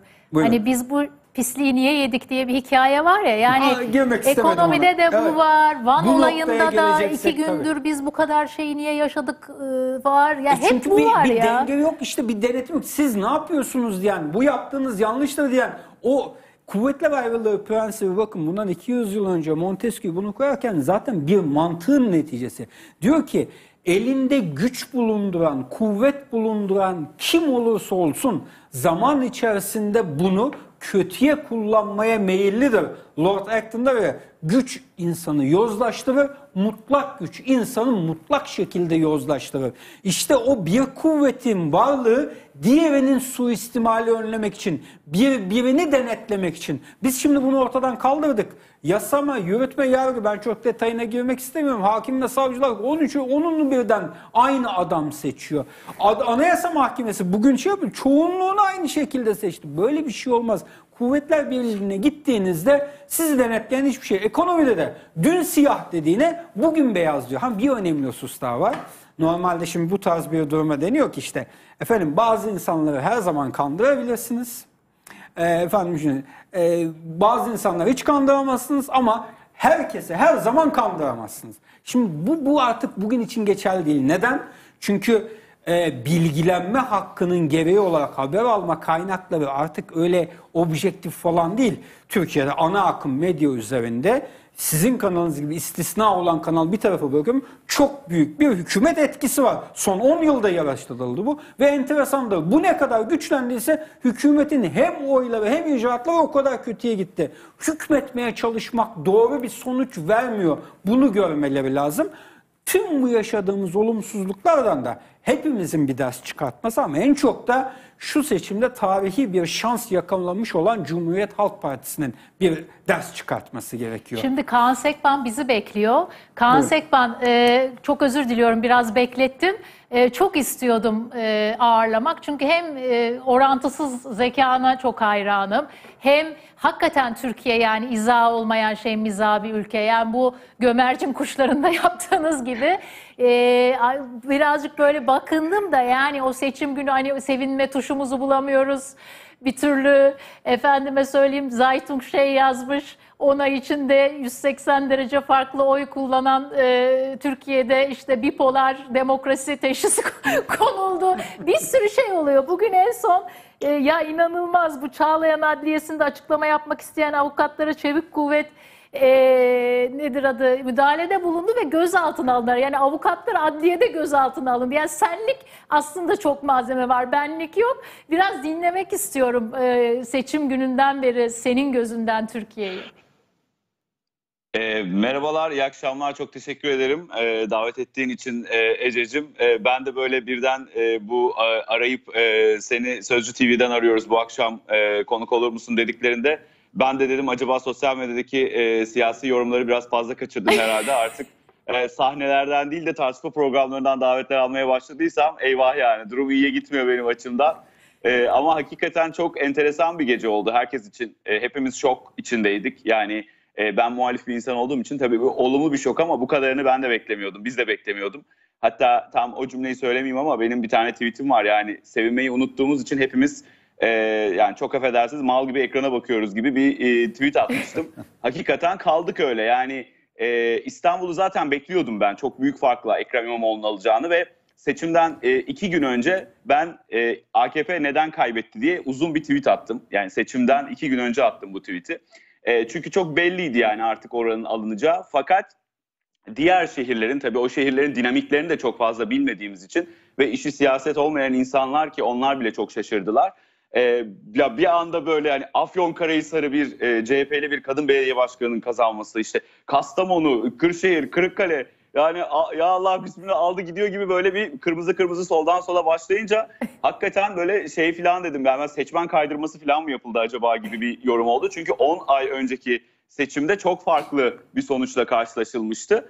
Ee, o da çok enteresan bir şey. Şimdi tabii bu seçime hep şey deniyor ya e, işte CHP kazanmadı AKP kaybetti deniliyor. Özellikle ana akım e, denilen işte iktidara daha yakın kanallarda. E o zaman 10 ay önce neden böyle oldu? İşte 10 ay önce de aslında AKP kazanmadı, CHP kaybetti bana göre. Yani o yüzden e, olayları biraz da öyle okumak lazım. E zaten birisi yani bu bir maç bir maçta da bir rakip daha kötü oynayacak ki e, diğer rakibin daha iyi oynadığı ortaya çıkacak. O yüzden biraz bence burada şeyde de haksızlık edildiğini düşünüyorum. Yani evet e, emekliler gitmedi, işte muhafazakarlar tepki gösterdi vesaire vesaire ama bütün ortaya çıkan sonucu da tamamen yani emekliler gitmedi, emeklilere zam yapılmadı. İşte CHP kazandı. Yani bu kadar basit bir şey olduğunu ben düşünmüyorum açıkçası. E, bence hakikaten e, özellikle İstanbul ilçelerinde çok iyi adaylar gösterilmiş. E, yani e, bugün internete düşen videolara bakıyoruz. Yani bir Tuzla Belediye Başkanı var. E, çok genç bir arkadaşımız ve mütedeyyin kesimle ya da ne bileyim e, belki sosyoekonomik olarak o kadar avantajlı olmayan insanlarla o kadar güzel diyalog kuruyor. Dur o zaman Kaan hemen izletelim. O, o gösterelim hocam ne diyordu? Oynat hocam mı vardı o şey futbol programlarında var. Hemen gösterelim. Anla, yani senin ne demek istediğini daha iyi anlasın izleyiciler sonra devam edelim. Bak abla bir şey söyleyeyim. Çocuğun var mı? Kaç yaşında? Biri 24 yaşında. Allah bağışlasın. Hiç burada oturup bir yerde güvenle çay içecek bir yerleri var mı? Yok canım. Burada bir yerde üniversitede mi okuyor çalışıyor mu? Yoksa üniversite bitirdiler. Maşallah. Burada bir yerde kütüphane var mı gitsin o kitap okusun? Sinema var mı? Abla o kültür merkezini 10 senedir yapıyor. Yapmıyor o buraya. Kabul edin bunu. Yapmıyor ablam. Yapsa 10 senede yapmaz mı? Değil mi? Kütüphane yapacağız. Buraya kreş yapacağız. Bir senede ben bu kültür merkezini bitiririm. Bir sene. Hepsi bir sene. 10 sene oldu bak ben bir senede bitiririm. Sana söz. Bir sene. Ve altyapıda çalışırız abla buraya. Bak bir şey istiyorum Allah rızası. Ben genel seçimden anlamam. Yok o CHP'ymiş, o AK Parti'ymiş, o MHP'ymiş. O... Ben anlamam o işte. Ama iyi asfalt yaparım. Buranın üstünü iyi kapatırım abla. Buranın kapalı bir pazara ihtiyacı var. Doğru mu abla? O yüzden ne yapalım? Bir dönem şans verin gençlere. Biz gençler gelelim, sabah erken kalkalım, gece geç yatalım. Sizi memnun etmek için daha fazla çalışalım. Fena mı bu söyledik? İnşallah. O yüzden destek istiyoruz abla. Olur mu? Sağ olasın. Sağ ol. Git eşinle de konuş. De ki ben genç bir çocukla tanıştım. Bizim evladımız yaşında. Çalışmak istiyor. Bir deneyelim bey de ya. Olur mu? Eren Ali Bingöl. Evet. Kaan Sekban Yani dinliyor. müthiş. Ya müthiş bir iletişim ve aslında ne kadar basit, ne kadar basit bir şey e, izledik aslında. Zaten basitlikte her şey mükemmelliği gizli. E, ben hep şunu savunuyorum. Yani e, bu seçimin bence en güzel tarafı bir de şu oldu. E, muhalif kesim e, açısından hep şöyle bir inanış vardı ya. Yani hiçbir zaman Sosyal Demokrat Parti işte birinci parti seçilemez ya da hiçbir zaman e, işte CHP yüzde kırklara tek başına yaklaşamaz gibi bir inanış vardı. Onun da ne kadar yanlış olduğu aslında görülmüş oldu. Yani bu oylar kredi oylarıdır, emanet oylarıdır. Sonuçta CHP'ye verilen oylar olduğu ortaya çıktı. Birçok şehirde oylarını arttırdı. Benim hep söylediğim bir şey var. Türkiye gibi son derece e, iletişime açık insanların olduğu bir ülkede her kesimden insanlara dokunarak, insanlara giderek e, nasıl diyeyim ikna edemeyeceğiniz hiçbir seçim olduğunu ben düşünmüyorum. Zaten bence daha önce de e, muhalefetin yani genel olarak söylüyorum tek bir partiden de bahsetmiyorum. Bence ilerleyememesinin sebebi buydu. Topluma dokunmakta, halka dokunmakta bir takım tıkanıklıklar yaşıyordu, bir takım problemler yaşıyordu. Ve e, hep de şunu şöyle mazeretler duyuyorduk muhalefetten. Ya işte engelleniyoruz işte efendim TRT'ye çıkmıyoruz. Ya TRT'ye çıkılmaması tabii ki facia ama hangi CHP'li belediye başkanı e, TRT'ye çıktı ki bugün seçimi kazanan? Hepsi kazandı işte çatır çatır. Ya artık TRT mi kaldı? İnsan Artık ticareti TikTok- yapmak lazım TRT'ye çıkmak için herhalde. Ya Ececiğim artık TikTok diye bir şey var. Sokak TikTok'ta. Sokak Ha, en son olayı biliyorsunuz değil mi? Evet, evet, Ha. evet, evet. Ama demek istediğim yani e, muhalefet hiçbir zaman mazeretlerin arkasına sığınmamalı. Yani siz bu ülkede birinci gelmeye, bu ülkede yönetmeye adaysanız bu ülkenin halkı bu. Bu ülkenin halkından asla şikayet edemezsiniz. Neticede o görülmüş oldu. Yani mizah açısından da biz Gömercin Kuşları'nın seçim özel bölümünü çektik dün sevgili partnerim Ayşe ile. Yarın yayınlanacak. Yani gülmekten yerlere yattığımız e, bir bölüm oldu. Yani mesela Manisa, Manisa e, Belediye Başkanı Sayın Başkan az önce e, bağlandı ya. Yani tabii çok ciddi şeyler konuşuldu ama yani onun seçileceğini biz o kadar iyi biliyorduk ki çünkü yani videolarda insanlar şöyle şeyler söylüyorlardı. E, e, adayı tanımıyorum yeni adayı ama ona vermeyeceğim inşallah sen seçilirsin. Yani insanlar artık o kadar cinniyet geçirmişler ki o kadar illallah demişler ki mevcut başkandan. Hani hakikaten orada kazanılacağı belliydi bu seçimin. Ee, sokak röportajları çok fazla ipucu veriyordu aslında. Ee, bir de bence yani e, işin e, enteresan tarafı e, bence şey de çok işe yaradı bu seçimde sevgili Ece. İktidara yakın e, olan bir takım e, nasıl diyeyim e, yani sanatçı değil, e, troll değil ama böyle bir şekilde görünür olan bazı insanlar, bazı tipler vardı. Ve onlar iktidara böyle yakınlık göstermek adına Şiraze'yi o kadar çok kaçırdılar ki bence çok büyük zarar verdiler. E, isim böyle zikretmek istemiyorum ama işte biliyorsun hani bir tanesi mesela mesela senin meslektaşın olduğunu iddia eden bir tanesi var mesela. Belediye başkanlığını küçük, küçümsüyor. Mesela diyor ki işte Ekrem İmamoğlu kim ki diyor. O bir belediye başkanı diyor. Belediye başkanı. Belediye derken şöyle botoksları oynuyor falan. Yani e, demek istediğim e, bu insanlar e, iktidara çok büyük zarar verdiler. O kadar büyük zarar verdiler ki. Yani iktidar bunun bir muhakemesini yapmak istiyorsa ben Az önce şey şeyi tat- söyledi. Aslen TV'nin e, şeyinin e, Evet. sunucusunun kızı galiba var bir de aralarında Ya Allah bahsetti. Allah aşkına Ahsen TV'nin sunucusunun kızına bir deterjan firması sponsor olsun ve ona bir bir koli deterjan göndersin ve o elbiseyi bir yıkasın ya. Yani izlerken elbisenin kirine bakmaktan e, sözlere odaklanamadım. Şimdi bu insanlar maalesef çok büyük zarar verdiler. Yani maalesef AKP açısından söylüyorum. Ama şundan da maalesef yani toplumu kutuplaştıkça kutuplaştırdılar. Nefret söyleme ektikçe ektiler ve bu çok büyük zarar verdi. Ben bugün şöyle bir tweet attım. Eskiden bu insanları ya eskiden birkaç önce bu insanları izlediğimde çok sinirlenirdim. Şu an inanılmaz keyifleniyorum. Yani inşallah 2028'e kadar artarak devam eder. Bunlardan daha çok görelim. Daha çok görelim. Çünkü bunlar gerçekten en büyük zararı veriyorlar ve insanları soğutuyorlar. Keza işte o sokaklara e, Jurassic Park'a girer gibi kocaman tankların üstünde giren e, bir hanımefendi vardı böyle. Yani e, kim- kimi selamlıyor orada, kim hangi şeyle se- selamlıyor onu da bilmiyorum. O kadar komik görüntüler, o kadar gülünç görüntüler e, izledik ki e, bu seçim gümbür gümbür e, yani AKP'nin kaybedeceğini e, söylüyordu bence. Son olarak da şunu söylemek istiyorum. Çok da vakit almak istemiyorum. Çok geveze bir insanım. E, çok da böyle az Biz çok seviyoruz senin gevezeliğini ama. çok çok teşekkür Dolu ederim. dolu bir Şunu söylemek- Çok teşekkür ediyorum. Ee, CHP'de hem CHP'nin hem AKP'nin önünde çok büyük fırsat var. CHP'nin önündeki fırsat hep söylenen şey. Eğer gerçekten bu belediyeleri alan e, belediye başkanları e, İstanbul'un, Ankara'nın, Eskişehir'in yaptığı gibi iyi belediyecilik yaparsa ve onları rol model olarak alırsa, işte doğru. yolsuzluğa az önce konuşulduğu gibi yolsuzluğa, uğursuzluğa prim vermezse ve buna bulaşanların kellesini anında alırsa e, ve sosyal belediye, belediyeciliği öne çıkarırsa 2028'de ister İmamoğlu, ister Sayın Yavaş, ister Özgür Özel kim aday olursa olsun e, bence Cumhurbaşkanlığı ipini göğüsler. Burada çok büyük bir fırsat var. Yapılacak şeyler çok belli çünkü bir başarı hikayesi var önde. Eskişehir, Ankara, İstanbul. Al aynısını kendi şehrinin dokusuna göre yap ve yoluna devam et. AKP'nin önünde de şöyle bir fırsat var. Ee, ekonomi deniliyor ya, ekonomiyi düzeltirse e, seçimleri yine kazanır. İşte e, ekonominin düzelmesi için önce hukuk, insan hakları bunların düzelmesi lazım. Siz eğer e, hukuku, insan haklarını güvence altına alırsanız, e, bilimsel araştırmalar, sanatta özgürlük bunları sağlarsanız o zaman e, hem dış yatırımcı, ya dış yatırımcıyı da geçtim. İçerideki insanlar dışarı gitmenin hayallerini kurmaz. Siz bu ülkenin gençlerinin yurt dışına göç etmeyi hayal etmediği bir ülke haline getirirseniz burayı, doktorların harıl harıl İngilizce, Almanca öğrenmeye çalışmadığı, gitmek için bir ülke haline getirirseniz burayı, yetenekli insanlar, yetkili beyinler, pırlanta insanlar ülkesinde kalır. E, güzel, iyi ürünler, kaliteli ürünler bu ülkenin insanı için üretilir. Kimse ihracatçı olmaya çalışmaz paramızın değeri olmadığı için. Biz eğer bunları sağlarsak, yani iktidar bunu sağlarsa eğer... Bir şey var o yalnız. zaman Bir ekonomi- şey var ekleyeyim. Bir de Lütfen. e, teknolojiden ziyade bilime yatırım yapması lazım. Kaan Bilim, Bey. bilim söyledim. Bilim, bilime bilim bilime yatırım yapması Evet. lazım. Çünkü üretimin, teknoloji üretiminin kaynağında bilim var. Ama siz bilim Evet. yerine inanca yatırım yaparsanız olmaz. Türkiye'nin açmazlarından aynı bir şeyi tanesi de budur. Aynı bilimsel araştırma yani aynı şekilde söyledim. Orada bir nesnelliğin olması lazım. Yani işte gördük Sayın Alper Gezer Avcı e, hepimizin e, ortak değeri gururu olarak lanse edildi ve e, uzaya çıktı. Astronot da gurur- oldu.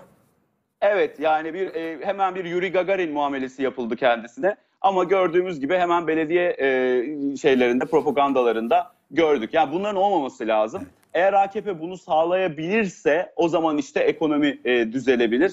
E, CHP'li belediyelerde, muhalif belediyelerde bu fırsatı iyi değerlendirirse bence e, önleri çok açık olur. Ama bu ülkede mizahçıya her zaman e, malzeme çoktur. Şunu da söyleyeyim, iktidarın bence şunu da yapması lazım. Toplumsal psikolojiyi, toplumsal e, kutuplaşmayı e, gidermek adına düşünce suçlularını, siyasi görüşleri nedeniyle içeride olan insanların da bence dışarı çıkarılması lazım. Sayın Cumhurbaşkanı'nın bütün seçilen Büyükşehir Belediye Başkanlarıyla keşke toplansa, keşke büyük bir çalıştay yapsa, gelin bakalım nedir sorunlarınız dese, sizi dinleyeceğim dese, sizden önceki bizimkiler neyi yanlış yapmış bana bir anlatın bakayım dese. Ya şunu görsek çok mu zor bir şey? O yüzden e, bunları da söylemek istedim. Sen muhtemelen çok şakalar yapayım diye beni bağladın ama ben çok doluyum. Sözcüye bağlanınca hemen ortamın şeyine geldim ve e, içimdeki e, Kurtuluş Sekban babam çıktı ve her şeyi böyle söylemek istedim. Bir komedyenden siyaset yorumcusu yaratan karanlık diyorum. Başka bir şey demiyorum. Seni Aydınlık asla çok- suçlamıyorum. Çok teşekkürler. Çok, günler keyifliydi tabii inşallah. ki. Kaan'ın dediğine Çok saygılar. Bir iki cümle, Çok sevgimizi yolladı. Ha, bir bu arada cümleyle- Cemal Engin Yurt'ta bir iki cümle. Dur gitme Kaan. Kaan'ın dediğine bir iki cümleyle örnek vermek gerekirse Afyon'da Burcu Köksal. Evet. Kendi partilileri tarafından bile linç edilmesine rağmen Rağmen.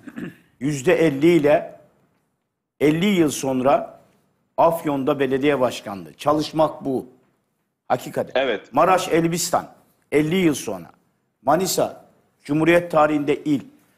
Altınordu ilçesinde Ulaş Tepe. Çamaş ilçesinde Leyla Çıtır. Kabataş ilçemizin özelliği ne biliyor musunuz bizim? Yüzde 85 Cumhur İttifakı.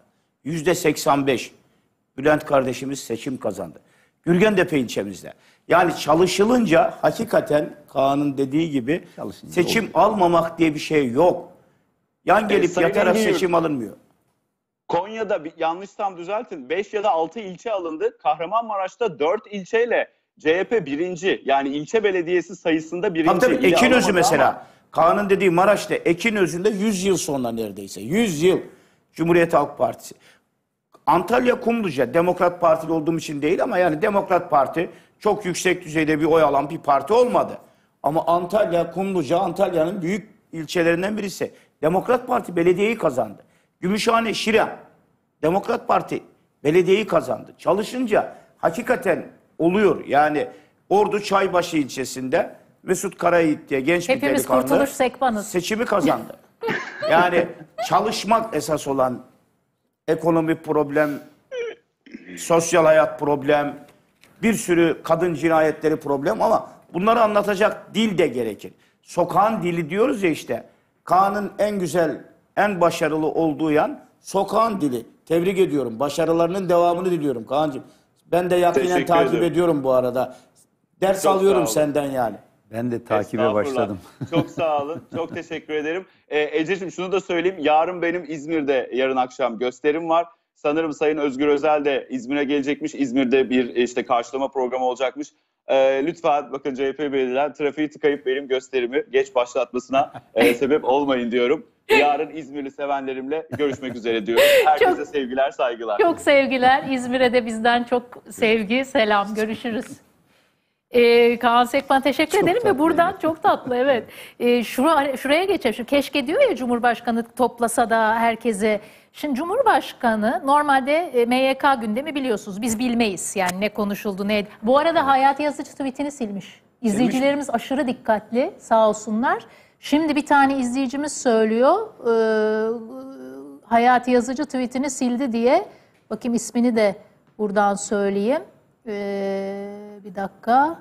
Bulacağım şimdi söyleyeceğim ismiyle birlikte söyleyeceğim Hayati Yazıcı tweetini sildi diyen izleyicimize. sildiyse yani tebrik etmek lazım. Dik duruşunu göstermiş. Ne kadar onurlu bir siyasetçi Van'la ilgili. olduğunu, Hmm. ne kadar dik duruşlu bir adam olduğunu, sözünün arkasında ne kadar durduğunu Hayati Yazıcı göstermiş yani. Tebrik edelim değil mi yani? Demek ki aralarında e, iki çizgi var. Mücadele devam ediyor yani. Şimdi bir de şu var. Kaan başarılı diyoruz ya. Aslında rahmetli Levent Kırca, Allah rahmet eylesin, orduludur biliyorsunuz. Bizim çok sevdiğim, benim de böyle hakkımda skeçler yapmıştı. Sohbet ederken bir gün işte konuşuyorduk, onu bir televizyonda da söylemişti röportajında.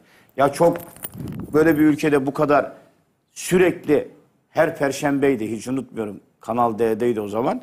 Değil mi? Her hafta e, program yapardık. Abi ne yapıyorsun? Nereden buluyorsun? Hazır mı? Gerek yok Cemal derdi ya. Sokağa çık. Bir Zaten günlük her şey gündem var. he. yeter ya. bir günlük gündem yeter derdi. Meltem Akıncı diyor Hayati Yazıcı Van'la ilgili. Ha onu söyleyeceğim. Şimdi MYK toplantıları normalde sızdı ama bu bilerek tırnak içinde sızdırıldı. Ve orada e, önce kibir hastalığına dikkat çekiyor Cumhurbaşkanı. Fakat sonra İletişim Başkanlığı hemen 25 dakika sonra başka bir metin yayınladı. Orada da işte öz eleştiriler var falan kendileriyle ilgili. Ve hep böyle işte bir kapsayıcı bir politika. Diyor ki eğer hatalarımızı görer, görürsek kendimizi toplarız, görmezsek güneşi gören buz misali erimeye devam ederiz diyor. Güneşi gören buz misali. Fakat sonra bugün onu kimse konuşmadı. Ya Cumhurbaşkanı ne kadar güzel bak bilerek iletiyor. İşte herkesi kapsayacağım diyor, bilmem ne yapacağım diyor falan. Fakat Düzce belediye başkanı çok az farkla kazanmış. Onu avutuyor. Diyor ki üzülme kafana takma önemli olan zaferdir, kazanmaktır diyor. Sonra da diyor ki konuşurken Düzce Belediye Başkanı'yla sıkışık sıkışığım şu anda. Bazı seyahatlerim var. Amerika, Suudi Arabistan oradan döndüğüm zaman inşallah muzaffer illerimizi ziyaret edeceğim. Şimdi herkesi kapsamaktan bahsettiği konuşmanın içinde oluyor bu. Yani muzaffer iller sadece. Doğasına aykırı Erdoğan'ın.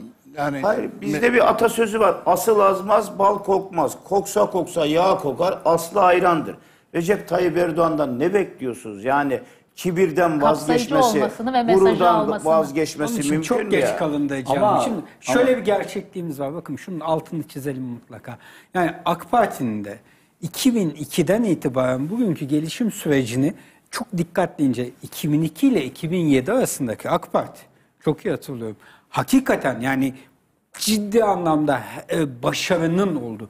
De, demokratikleşmenin o dönem Avrupa Birliği ile tam üyelik süreci bizim ceza kanunları çıktı vesaire O falan. maskeydi hocam. Mas bir saniye maske veya Ma- değil. Kopenhag kriterlerine uyum için adılan atımlar, Maastricht kriterleri, yolsuzlukla mücadele vesaire süreç içerisinde ama az önce söylediğim şey üstadım bir koltukta siz çok uzun zaman oturduğunuz zaman dünyayla, hayatla, gerçeklikle bağınızı kopartıyorsunuz. O koltuğun sahibi haline geliyorsunuz ve ondan sonra da işte o koltuğa öylesine bir yerleşiyorsunuz ki sanki orası size miras kaldı ve siz her şeyi yapmaya hakkınız var. Şimdi burada vatandaşın da ne yaptılarsa ne yazık ki Vatandaş bunlara bir dönem daha, bir dönem daha vererek aslında tüm o yanlış, olumsuz şeyleri de bir anlamda onaylamış oldu. Şimdi AK Parti'nin ben Kaan Bey'e çok katılmak isterim düzen ama kıyıdan o kadar çok açıldılar ki şu 2017 Cumhurbaşkanlığı referandum ve ardından bu sistemde. Şimdi bilimin gelişmesinden bahsettim. Ne kadar güzel Arge'nin. Türkiye'de bu mümkün değil olmaz efendim. Bilimin gelişmesi için ön koşul akademik özelliktir, bilimsel özelliktir. Bakın 12 Eylül cuntası dahi 1982 Anayasası'nda bütün rektörlere kendisi askerler atama bu kadar ileri gitmediler. İşte YÖK'ü kurup önce üniversite hocaları 6 tane aday seçip sonra 3 tanesi onun içerisinden seçiyordu.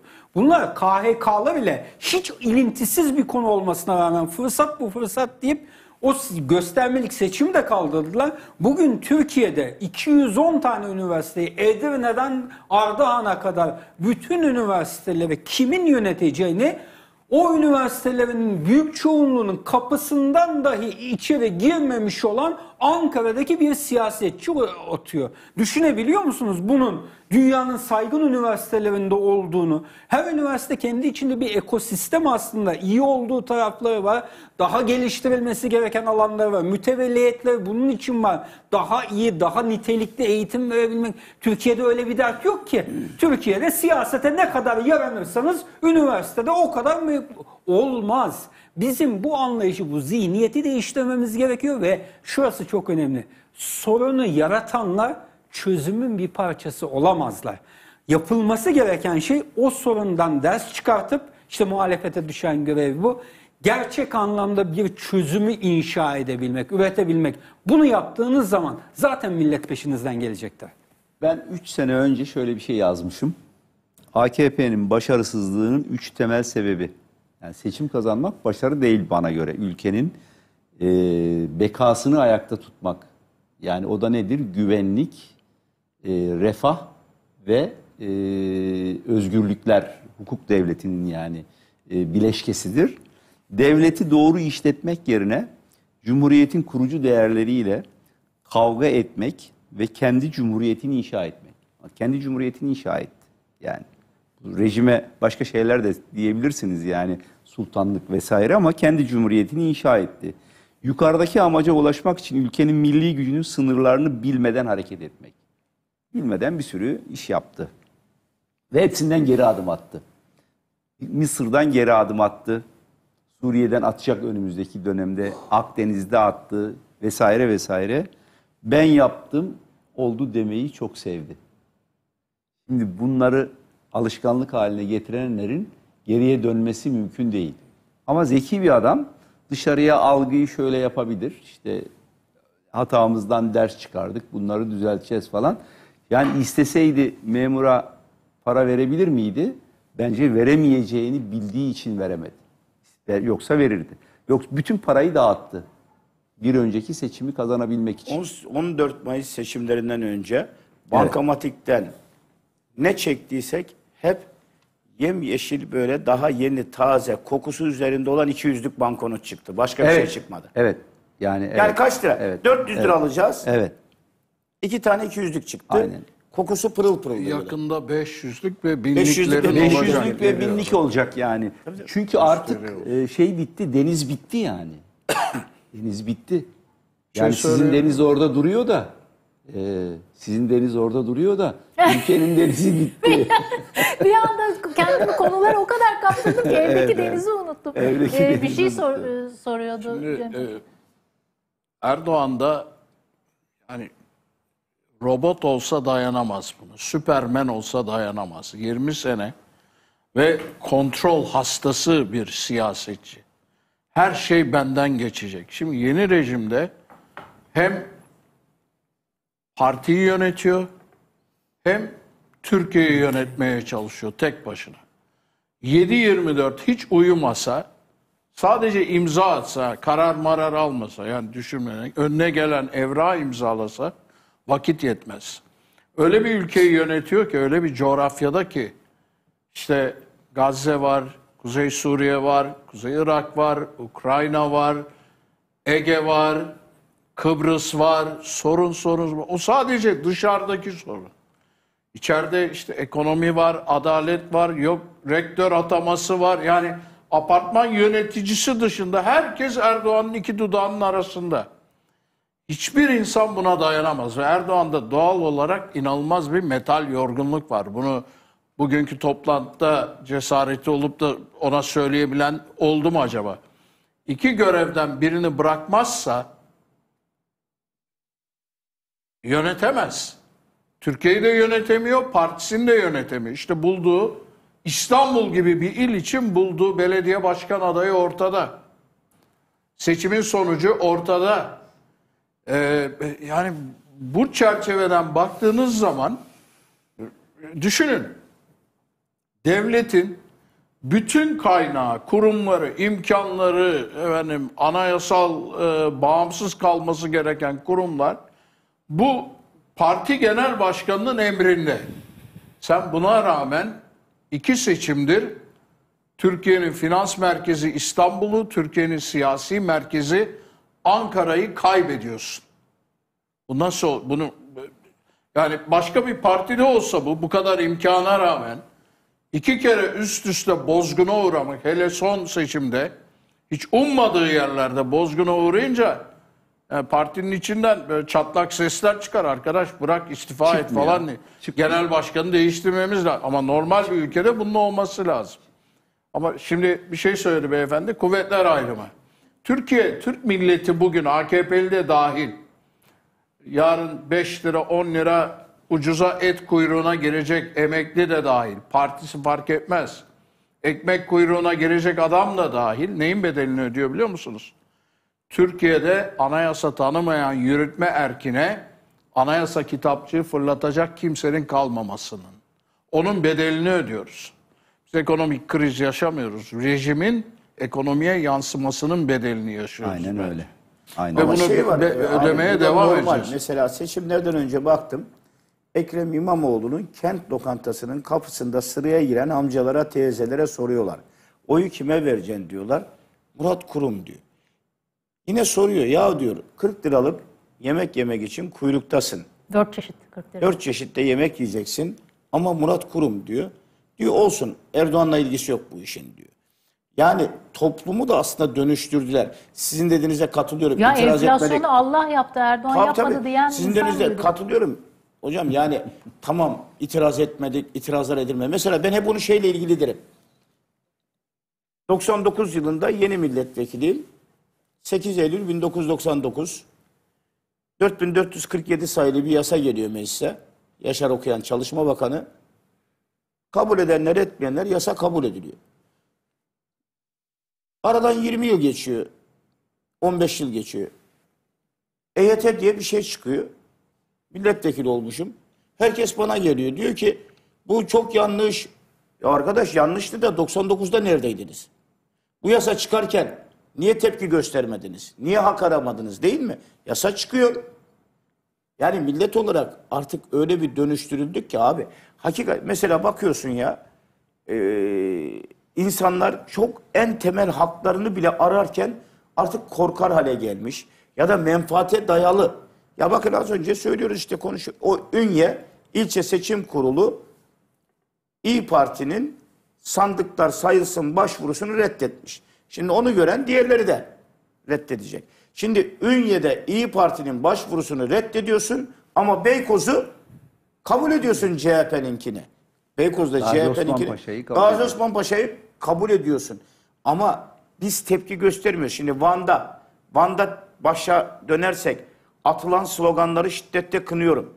Dem Parti ile ilgili olmaksızın asla Dem Parti adına söylemiyorum. Bir hukuksuzluğa karşı insanların sokağa çıkması asla ara- araç yakmadan değil mi? Cam çerçeve kırmadan, Şiddete başvurmadan. şiddete başvurmadan demokratik haklarını araması bir netice aldı değil mi abi? Ama biz şu an haklarımızı aramaktan aciziz ya. Millet olarak yani ben konuşuyorum. Gittiğim birçok yerde hep söylüyorum ya insanlar bana acıyarak bakıyor ya. Sana bir şey olacak diye korkuyoruz diyorlar. Abi ne olacak diyorum. Ya sen o kadar çok sert konuşuyorsun ki. Tamam da çiğ yemedik ki. Bir yerimiz ekşisin diyoruz. Yani ne söylüyoruz? Kimseye hakaret etmiyoruz, kimseye küfür etmiyoruz, kimsenin ailesiyle ki karşı tarafın çok çirkin ifadeleri. Yani düşünün e, Mansur Yavaş için Turgut Altınok çıktı son gece PKK'lı diye bildiri dağıttı. Hayatını ülkücü harekete vermiş, Evet milliyetçi harekete vermiş. E, ülkücü Mansur Yavaş için PKK'lı diye bildiri dağıttı. Televizyonda fotoğraf gösterdi abi. PKK'lılarla beraber diye. E şimdi bunu diyenlerin karşısında biz hep nezaket örtüleri içinde bazen ironi yaparak değil mi? Bazen espriyle. Ama vatandaşın Cem abi tepkisi kalmamış ya. Tepki kalma. Bugün Ama işte enflasyon- tepki, tepki yansıdı işte. Abi Sandıklara muhakkak yansıyan o sandıkçı yani. ama yine de hak aramaya devam etmeliyiz. Etmesi %68, tabii, etmesi Bugün lazım. yüzde 68 enflasyon. Bakın yüzde 68. Bugün faiz 6.4 Ahmet Komutanım. 6.4 ya. Hiçbir infaz, insafsız tefecinin olmadığı bir faiz. 6.4 ya bugün aylık faiz. Bugün itibariyle 6.4 ya. Buna para mı kazanılır? Buna borç mu ödenilir ki zaten kredi de vermiyor. Bankaların genel müdürleri, bankaların patronları adam seçiyor zaten. Şu an isim vermeyeceğim. Ben diyorum ki ya işte insanlar geliyor bize, milletvekiliyiz. Şirketi muhteşem. Ödemeleri muhteşem. Cirosu muhteşem. Her şeyi dört dörtlük. Ya kardeşim incele de. Bak yani bir an önce karar verin. O illaki AKP'li birinin aramasını bekliyor. Düşün faiz yüksek de olsa adam alamıyor ha. Yani eğer iktidardan birisi aramıyorsa onu bile vermiyorlar. Onu bile. Demin dedik ya seçici Mehmet İşte Şimşek, seçici işte o, işte abi hani çok Aynen güzel. şey. Ben örnek olarak Seçici, bravo. Yani böyle bir noktadayız. Yani insanlara bakıyorum. Hakikaten bu 40 45 gün 50 gün içerisinde yaklaşık bir 50-60 bin kilometre yapmışımdır. Yani uçaklar hariç. Uçaklarla gittiğim yerler hariç. Ya her gittiğimiz yerde tepki güzel. Ben mesela burada söyledim değil mi? Dip dalga geliyor dedim değil mi? Evet, 89'dan daha farklı olacak. Bunu görüyoruz ama hep sonrasına bakıyorsun devamı gelmiyor. Devam. Mesela bizim mem- şimdi memleketimizde de e, doğrudan gelir desteği ödenmiyor. Ödenmesi gerekiyor Mart geldiğinde çünkü gübre alacak, ilaç alacak, verilmiyor. İşte Hatay dört yola gittim. Narenciye ağaçta duruyor, çürümüş. Toplayamamış, iflas etmiş. Nerede ziraat odaları abi? Yani hep siyasetçi mi konuşacak? Bu ziraat odaları birliği nerede? Bu çiftçiden ÇKS parası alıyorlar, üye aidatı alıyorlar. Bundan 10 yıl önce iyi hatırlıyorum 15 yıl önce Ordu'da 100 bin kişilik miting yapmışlardı. Sonrasında da %65 vermiştik AKP'ye biz ordular olarak. Yani 100 bin kişi fındık protestosu yaptık, miting yaptık. Arkasından da 6 ay sonra seçimde de %65 verdik. Yani öyle de Kadir Şinas bir memleketiz biz. Ziraat odaları nerede? yiyorsunuz Esnaf odaları nerede abi? Bakın esnaf esnaf iflas etti abi. Esnaf vallahi iflasta. Esnaf, Bakın evet. üç gündür şehirde seçim bitti. Geziyorum esnafa bir teşekkür için. Ya siftah yapmıyor abi siftah. Bağkur primi 6 bin lirayı geçmiş abi. Ödeyemiyor ya. Bağkur primini ödeyemiyor. Diyor ki şunu 9 bininden 7 bin 200'e düşürsünler. Zaten 8 bin gün ödedim diyor. Emekli olmayı düşünmüyorum diyor. Şu primden kurtulayım diyor ya. Şu primden kurtulayım diyor ya. Ama nerede esnaf odaları? Bu esnaf odaları bunlardan aidat alıyor. Para alıyor bunlardan abi. Sivil toplum örgütlerinden de ses çıkmıyor. Dolayısıyla böyle bir ülkede Tayyip Erdoğan kibrinden nasıl taviz versin? Ben sordum bir çok e, önemli bir sivil toplum örgütünün başkanına. Ya Cemal Bey bizi çok acımasızca eleştiriyorsunuz dediğinde. Ya kardeşim niye bir iki laf etmiyorsunuz dedim. Yani ben 2002'de iktidar ortağıydık. O zamanlar e, yazar kasa fırlatılıyordu değil mi? Ankara'dan siteler esnafı değil mi? tabii. Başbakanlığa yürüyordu falan. Öyleydi, evet. Şimdi neredesiniz? Yani çok mu iyi durum ondan diyorum. Ya diyor hemen görevden alırlar. Adamın mantığına bakar mısın? Oturduğu koltuğun gitmesinden korkuyor. Temsil ettiği toplumun, temsil ettiği kesimin hakkı hukuku değil ya. Yani Ankara Simitçiler Odası Başkanı değil miydi? 15 liraya çıkardığı simit zammını Ticaret Bakanı arayıp da tehdit etti diye seçim sonrasına erteledik demedi mi ya? Evet. Yani şimdi bu ülkede ben hep siyasetçi olarak görüyorum. Herkes bizi arıyor, konuşun. Binbaşı arıyor ee, az önce e, Ahmet Yavuz komutanım vermiş telefonumu. Haklı, ağlıyor. Emekli binbaşılar. Emekli durumu binbaşılar. çok kötü yani. Perişan durumdayız diyor ya. 20 bin Adam lira ağlıyor. maaş alıyor 2002 yılında düzeltilecekken düzeltilmeyen hak sebebiyle kendilerinden daha aynı seviyede olanlar çok daha farklı haklar alırken mahrum olmuşlar. Assubaylar bu seçimde çevirdiler etrafım ya assubaylar ya. Emekli assubaylar. Assubaylarda da öyle. Oğlu assubay yanında duruyor. Benim oğlan diyor 50 bin lira alıyor diyor. Ben 21 bin lira alıyorum diyor. Ya düşünsenize 35 yıl devlete hizmet etmiş assubay olarak. Yani 35 yıl ziraat mühendisliği yapmış 14 bin lira alıyor. Ama bunun hakkını savunacak olan kim? Bunun hakkını savunacak olan onun dernekleri var değil mi? Mesela emeklileri hep konuştuk. Ben epey bir konuştum. Emeklilere de teşekkür ediyorum. Ben ben yani bize sahip de çıktıklarını düşünüyorum. Çünkü ben ne demiştim? Şu parti bu parti değil. İktidara bir sarı kart gösterin. İkinci parti kimse oyunuzu ona verin demiştik. Verdiler. Ama emekliler bunların bir derneği yok mu? Var. E bunlar niye işte assubaylar yok mu var? Hep siyasetçi, hep bana yazıyorlar. Yani diyorlar ki Cemal İngör sen diyorlar Don Kişot oldun, Yel Değirmenine karşı kılıçla saldırıyorsun.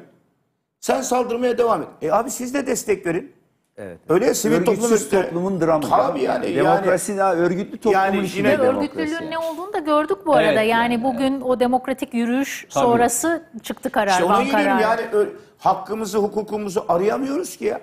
Hiçbir hakkımız, hukukumuz yok. Yani seçimler oluyor, haklar gasp ediliyor. Geçersiz oylar adı, adı altında seçim yani mesela bizim Perşembe ilçemiz var. 200 oyla kaybetti. Peki seçimler oluyor Ulubey demişken ilçemiz bir var. şey CHP soracağım 200 size. oyla kaybetti. Geçersiz oylar 1000-1500. Şimdi 1600. ortaya soracağım. Önce Cem Toker'e soracağım. Sonra e, tek tek herkese soracağım. Şimdi Özgür Özel dedi ya ben erken seçime gitme gibi bir planım, programım yok. Kimileri diyor ki çok güzel. CHP'nin bu tavrı şahane. Her an gidebiliriz de gitmeyebilirim de e, tavrında olması güzel. Kimileri de diyor ki tam ringdeki işte boksör gibi vurdun yara aldı e, kendini toparlayamadan yeni eylem planı yapmadan hemen seçime gidip yapmak lazım. Sizce yani bu e, Özgür Özel'in elinde değil ki erken seçime gidip gitmemek. e, Değil, de- değil tabii. 360 ile alınabiliyor karar. Hayır, niyet ortaya koymak açısından söylüyorum. Niyet öyle bir ortaya- atmosfer, öyle bir Özgür iklim yaratmak. önce bence doğru yapıyor. Ee, 2019'u hatırlayalım. 2019'da Kemal Kılıçdaroğlu müthiş bir zafer kazandı. O altılı masayla falan. Ondan sonra da Muhalefet psikolojik üstünlüğü ele geçirdi siyasette ve gündem belirlemeye başladı. Özgüveni yerine geldi 2019 Kılıçdaroğlu'nu hatırlayın. Sağa sola gitmeye başladı, sokağa çıktı. Ee, işte Sadat'ın Sadat'ın önüne önüne, gitti. gitti. Milli Eğitim Bakanlığı'nın önüne gitti, birkaç yere de ve gündem belir. Hele hele hatırlayın 128 milyar dolar nerede? Adamların kimyasını bozdu. Öyle bir gündemde tuttu ki görsellerle falan böyle ilçe başkanlıklarına pankart asarak. Ee, Kılıçdaroğlu'nun siyasi hayatındaki en başarılı dönemi. Ondan sonra ne olduğunu biliyoruz. Oralara girmeyelim. Ee, Özgür Özel de şimdi 2024'te Kılıçdaroğlu'nun yakaladığından daha büyük bir ivme yakaladı. Ve bunu değerlendirebilmesi çok önemli. Gündem belirlemeye başlaması lazım CHP'nin. Yani Erdoğan'a bırakmayacak meydanı. Erdoğan peşinden koşacak gündemin. Ee, yoksa bırakırsanız Erdoğan kontrol ettiği zaman gündemi muhalefet zor yakalayabiliyor. Çünkü medya, algı yönetimi falan yine bakmayın Erdoğan'ın elinde. Onun için çok ciddi bir sınav bekliyor. Bu balayı bitecek. Verin bir ay, iki ay sonra e, yani CHP'nin performansını, Özgür Özel'in performansını göreceğiz. Bir şey daha söyleyeyim. Mesela yarın e, Erdoğan istifa etti, sağlığı el vermedi, ben çekiliyorum dedi. Bir ay sonra, 45 gün sonra Cumhurbaşkanlığı seçimi. CHP'nin adayı kim olur? Beni yaparlar abi. Ha? Beni yaparlar. Seni yaparlar da e, bir ipte üç cambaz var abi. Senin ha, çekmez o ip seni. Şimdi e, biri diyecek ki ben- şimdi bu başarı kime yazıyor? CHP'nin bu seçim başarısı kime yazar? Bir tane genç genel başkan var. Yine almış ana muhalefet tarihi bir zafere imza atmış partiye. Öbürü diyor ki benim adım geçiyordu Cumhurbaşkanlığı için daha 10 ay önce. Partiler üstü bir isim haline geldim. İstanbul'da çeyrek asır sonra ilk tokadı ben attım AKP'ye. E bir tane devlet adamı görüntüsünde ağır başlı yine partiler üstü bir cumhurbaşkanı niteliğine sahip. E, Cumhurbaşkanı Mansur Yavaş, Başbakan Ekrem İmamoğlu. E, Başbakanlığa nasıl geçtiniz? Hangi başbakan? Yani kendi aralarında herhalde onun böyle için, bir şey. e, bu, bu balayı dönemi bitecek önümüzdeki şeyde, e, dönemde. Onu, ama şimdilik tadını çıkaralım. Zafer kutlanacak. E, şimdi Erdoğan düşünsün. Yani bize çok e, karın ağrısı çektiğimiz geceler yaşattı. Uykusuz geceler yaşattı muhalefete. E, aldığı kararları. Şimdi biraz onun karnı ağrıyor ama e, ben erken seçime paramı basmam. Hele hele iki sene değil mi özlük haklarını alması şeylerin falan. 2025'ten önce zaten 2025 imkansız. Mayıs'tan 14 Tabii. Mayıs'tan önce zaten ona daha bir 15 ay 14 ay var. Ee, ondan sonra da bizim ağzımız alışmış parlamenter rejimden erken seçime. Bir şey daha söyleyeyim hazindir. Ee, Siz hukukçusunuz. Doğru. Peki. Yasalarımızda erken seçimin tanımı var mı? Hayır. erken seçim, seçim. ne zaman yapılırsa erken seçim olur? Seçimlerin yenilenmesi diye bir kavram var. Bitti. Ee, 28 Haziran'da yapılması gereken seçimleri bir buçuk ay öne çekti. Meclis karar almadı. Bir adam dedi ki seçimler şu tarihte olacak. E bu erken seçim sen aday olamayabilirsin. Erken seçim. Hayır dedi bu erkene çekilmiş seçim. Erkene alınmış seçim dedi. O bile yok Türkiye Cumhuriyeti'nin yasalarında erken seçim nedir tanımı yok. Onun için bu, bu rejimde de öyle kolay kolay erken seçim Yani olmaz. Yani Erken 360'ı seçim Özgür Özel'in söylemi doğrudur. Erken seçim diye ortaya çıkarsanız bu bir şımarıklık anlamına gelir. Millet şu anda ben net şunu söyleyeyim. Millet Recep Tayyip Erdoğan'a şunu dedi. Benim okumamı söylüyorum. Seni Cumhurbaşkanı seçtik 14 ve 28 Mayıs'ta.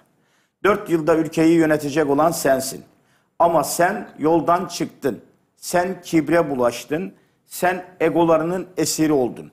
Sen beni görmezden geldin. Sen milletten uzaklaştın. Sen sokağın sesini duymadın. Ben sana kendimi hatırlattım. Bu hatırlatmayı sadece bir şefkat şamarı olarak gör.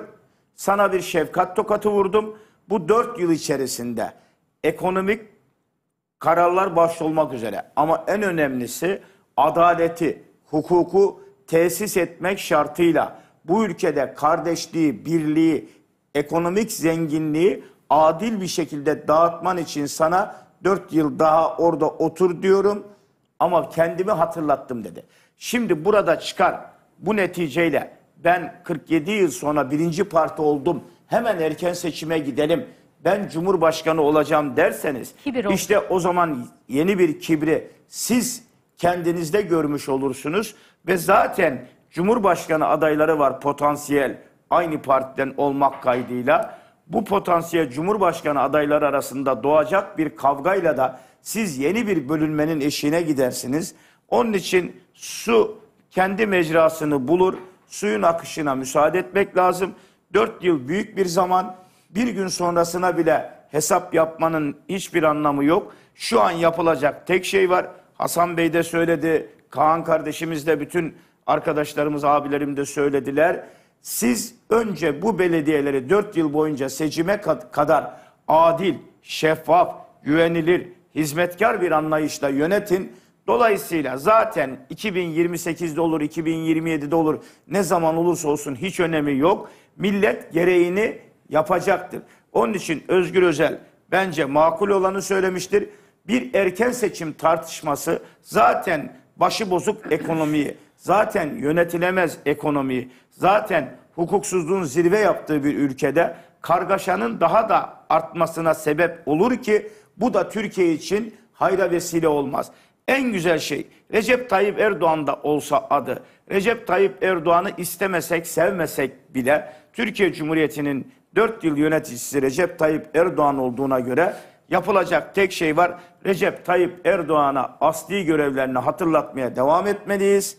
Konuşmaya devam etmeliyiz. Hak aramaya devam etmeliyiz. Ve Recep Tayyip Erdoğan'a bak sen bu hak aramalarının karşılığını vermedin. Emader miting yaptı 10 bin kişiyle. Bir günle 17 yıl emeklilik hak değildir. Staj ve çıraklık mağdurları hak aradılar. 5 bin günden emekli olamayan insanlar hak aradılar. 10 bin lira maaşla geçinemeyenler hak aradılar. Bu hakkı sana hatırlattılar. Hem de en sert şekilde hatırlattılar. Recep Tayyip Erdoğan ülkeyi 4 yıl adam gibi yönet demek lazım. Şimdi ben erken seçime diyeceğim ama öncesinde bir hususa değinmek Bir istiyorum cümle müsaade söyleyebilirim. ederseniz. Tabii bütün bu konuştuklarımızı Buyurun. unutun. Yarın bir gün anayasa, yeni anayasa. Yok neyse- olmayacak işte. Tam Ha, onu anlatacağım. Buyurun tam o onu anlatacağım müsaade. Tamam. Estağfurullah. Tamam. Tam konu. e, Tam buradan gireyim müsaade ederseniz. Seçim sonuçlarının bu, bu e, yerel seçimde elde edilen başarının en önemli neticesi ne derseniz bu ütopik hayallerine set çıkmış olmasıdır. Şu aldığı ağır yaranın ardından siyasal iktidar artık aslında yeni anayasa dediği şey anayasasızlaştırma. Yani anayasanın yürütme organına koymuş olduğu sınırlamalardan, tahditlerden kurtulup tamamen keyfi bir biçimde Ali Kıran başkasının olmak. Artık hayallerine dahi getiremeyecekler. Bir başka konu. İstanbul Sözleşmesi'nden çıkardı. 9 tane kadın öldürüldü diyorsunuz. Bakın sahanın içinde de olan birisi olarak bunu söyleyeyim. Aslında zaman olsa çok uzun konuşuyorum bu konuda da. O İstanbul Sözleşmesi'nden çıkıldıktan sonra bir bilimsel çalışma yapalım. Öncesinde aile mahkemeleri 6284 sayılı kadına karşı şiddetin önlenmesi kanununa dayalı olarak ne kadar sıklıkla uzaklaştırma kararı veriyordu? O İstanbul Sözleşmesi'nden çıkıldıktan sonra hangi sıklıkla? İnanır mısınız? Yarı yarıya hatta daha fazla şekilde düştü. Süreleri de düştü. Polislerin de aynı şekilde bu şiddete müdahalesi. Çünkü siyasi iradeye bakar bu iş. Bunu takip edeceksiniz. Kadınları ezdirmeyeceksiniz.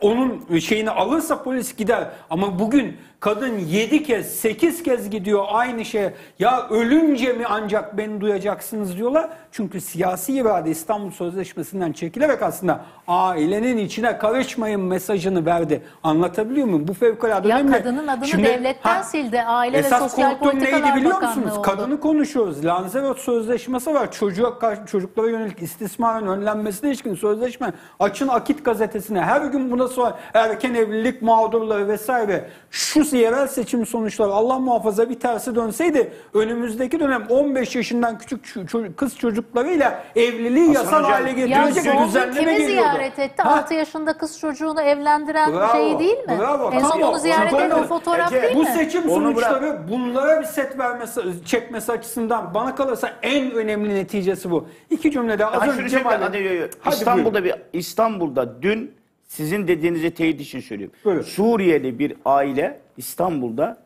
iki tane küçük çocuğu evlendirip fotoğrafını düğün gelin damat fotoğrafını yayınladı. Ya bu bu kural haline gelecekti. Bunun önüne çek artık buna cesaret edemeyecekler. Şu e, şeyle ilgili birkaç şey söyleyeyim. Yani e, neden tepki göstermiyoruz diye. Burada hakikaten iğneyle çuvaldızı kendimize batıracağız. Şunu başardı adamlar. Hepimizi pasifize etmeyi başardı. Bundan 10 yıl önce 2013'ün Haziran'ında Gezi'de Hepimiz çıktık. Milyonlarca insan onurumuzdu. Barışçıl, demokratik bir protesto hakkımızı kullan. Ben Bilgi Üniversitesi'nde ders veriyorum. Çocukları sınav alın.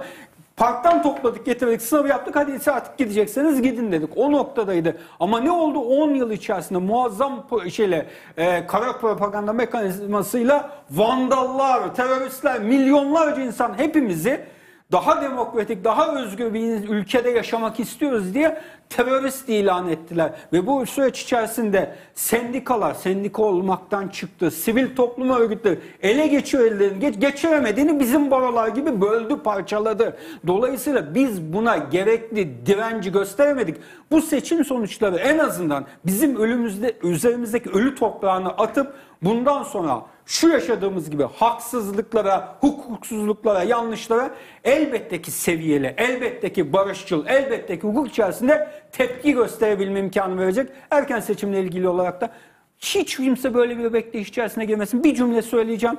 Merkezi iktidar devam ediyor. Göreceğiz ekonomide nasıl devam edeceğiz. Ha Cumhuriyet Halk Partili, sosyal mi demokrat belediye. Hadi şimdi göreceğiz. Sen sosyal belediyeciye, halkçı belediyeci şu şeyde ekonomik sıkıntı içerisinde ezilen vatandaşa omuz ver. Bu seçimde ya kent lokantası iki kelime e, mottosu oldu seçimin. Neden? Halk için yapılan bir şey gözle gördü. Ekonomik değeri belki en küçük şey belediyenin bütçesinde ama halka sen bir adım gittiğinde o sana on adım geliyor. Bunu gördük. İnşallah bu şekilde devam ederse zaten genel seçim artık sadece bir formaliteden ibaret olur. Kusura bakmayın paşam. Şimdi e, Özgür Özel'in erken seçim yoktur ifadesi doğru. Rasyonel bir şey. Çünkü onu değiştirme gücü yok. Yani bir şeyi talep ettiği zaman siyasetin arkasını getirmesi lazım. İkincisi yapılması gereken şeyleri belediye bazında söyledik. Bu sadece bir belediye başkanının veya iki belediye başkanının başarısı değil. Ortada başka bir başarı var. Bütün partinin başarısıdır. Buna e, şunu söyleyerek bitireyim. AKP Atatürk Cumhuriyeti'ni erozyona uğratmak, ortadan kaldırmak için adımlar attı. Cumhuriyet Halk Partisi'nin Türkiye'nin tekrar Atatürk rotasına sokulması lazım. Atatürk Cumhuriyeti rotasına. Bunun için hazırlık yapması lazım. Plan, program olarak, plan program olarak devlet planlama teşkilatıyla efendime söyleyeyim e, kapattıkları e, hıfzı sığayla vesaireyle ve kadrolaşması lazım. Buna ait kadroları oluşturması lazım. Zamanımız herhalde doldu. Bitti. Belki daha fazla söylenebilir ama ben bu kadarla bitireyim. Peki çok teşekkürler izlediğiniz için. Hoşçakalın.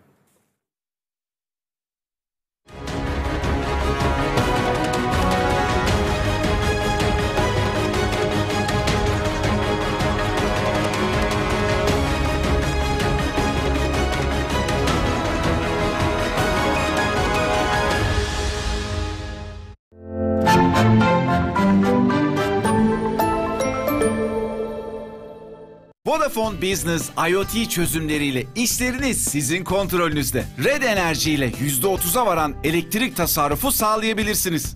Akıllı fabrikayla da makine duruş sürelerini ve sebeplerini anlık takip edebilir, üretim performansınızı artırabilirsiniz. Araç takip sistemiyle filonuzun konumunu ve rotasını kolay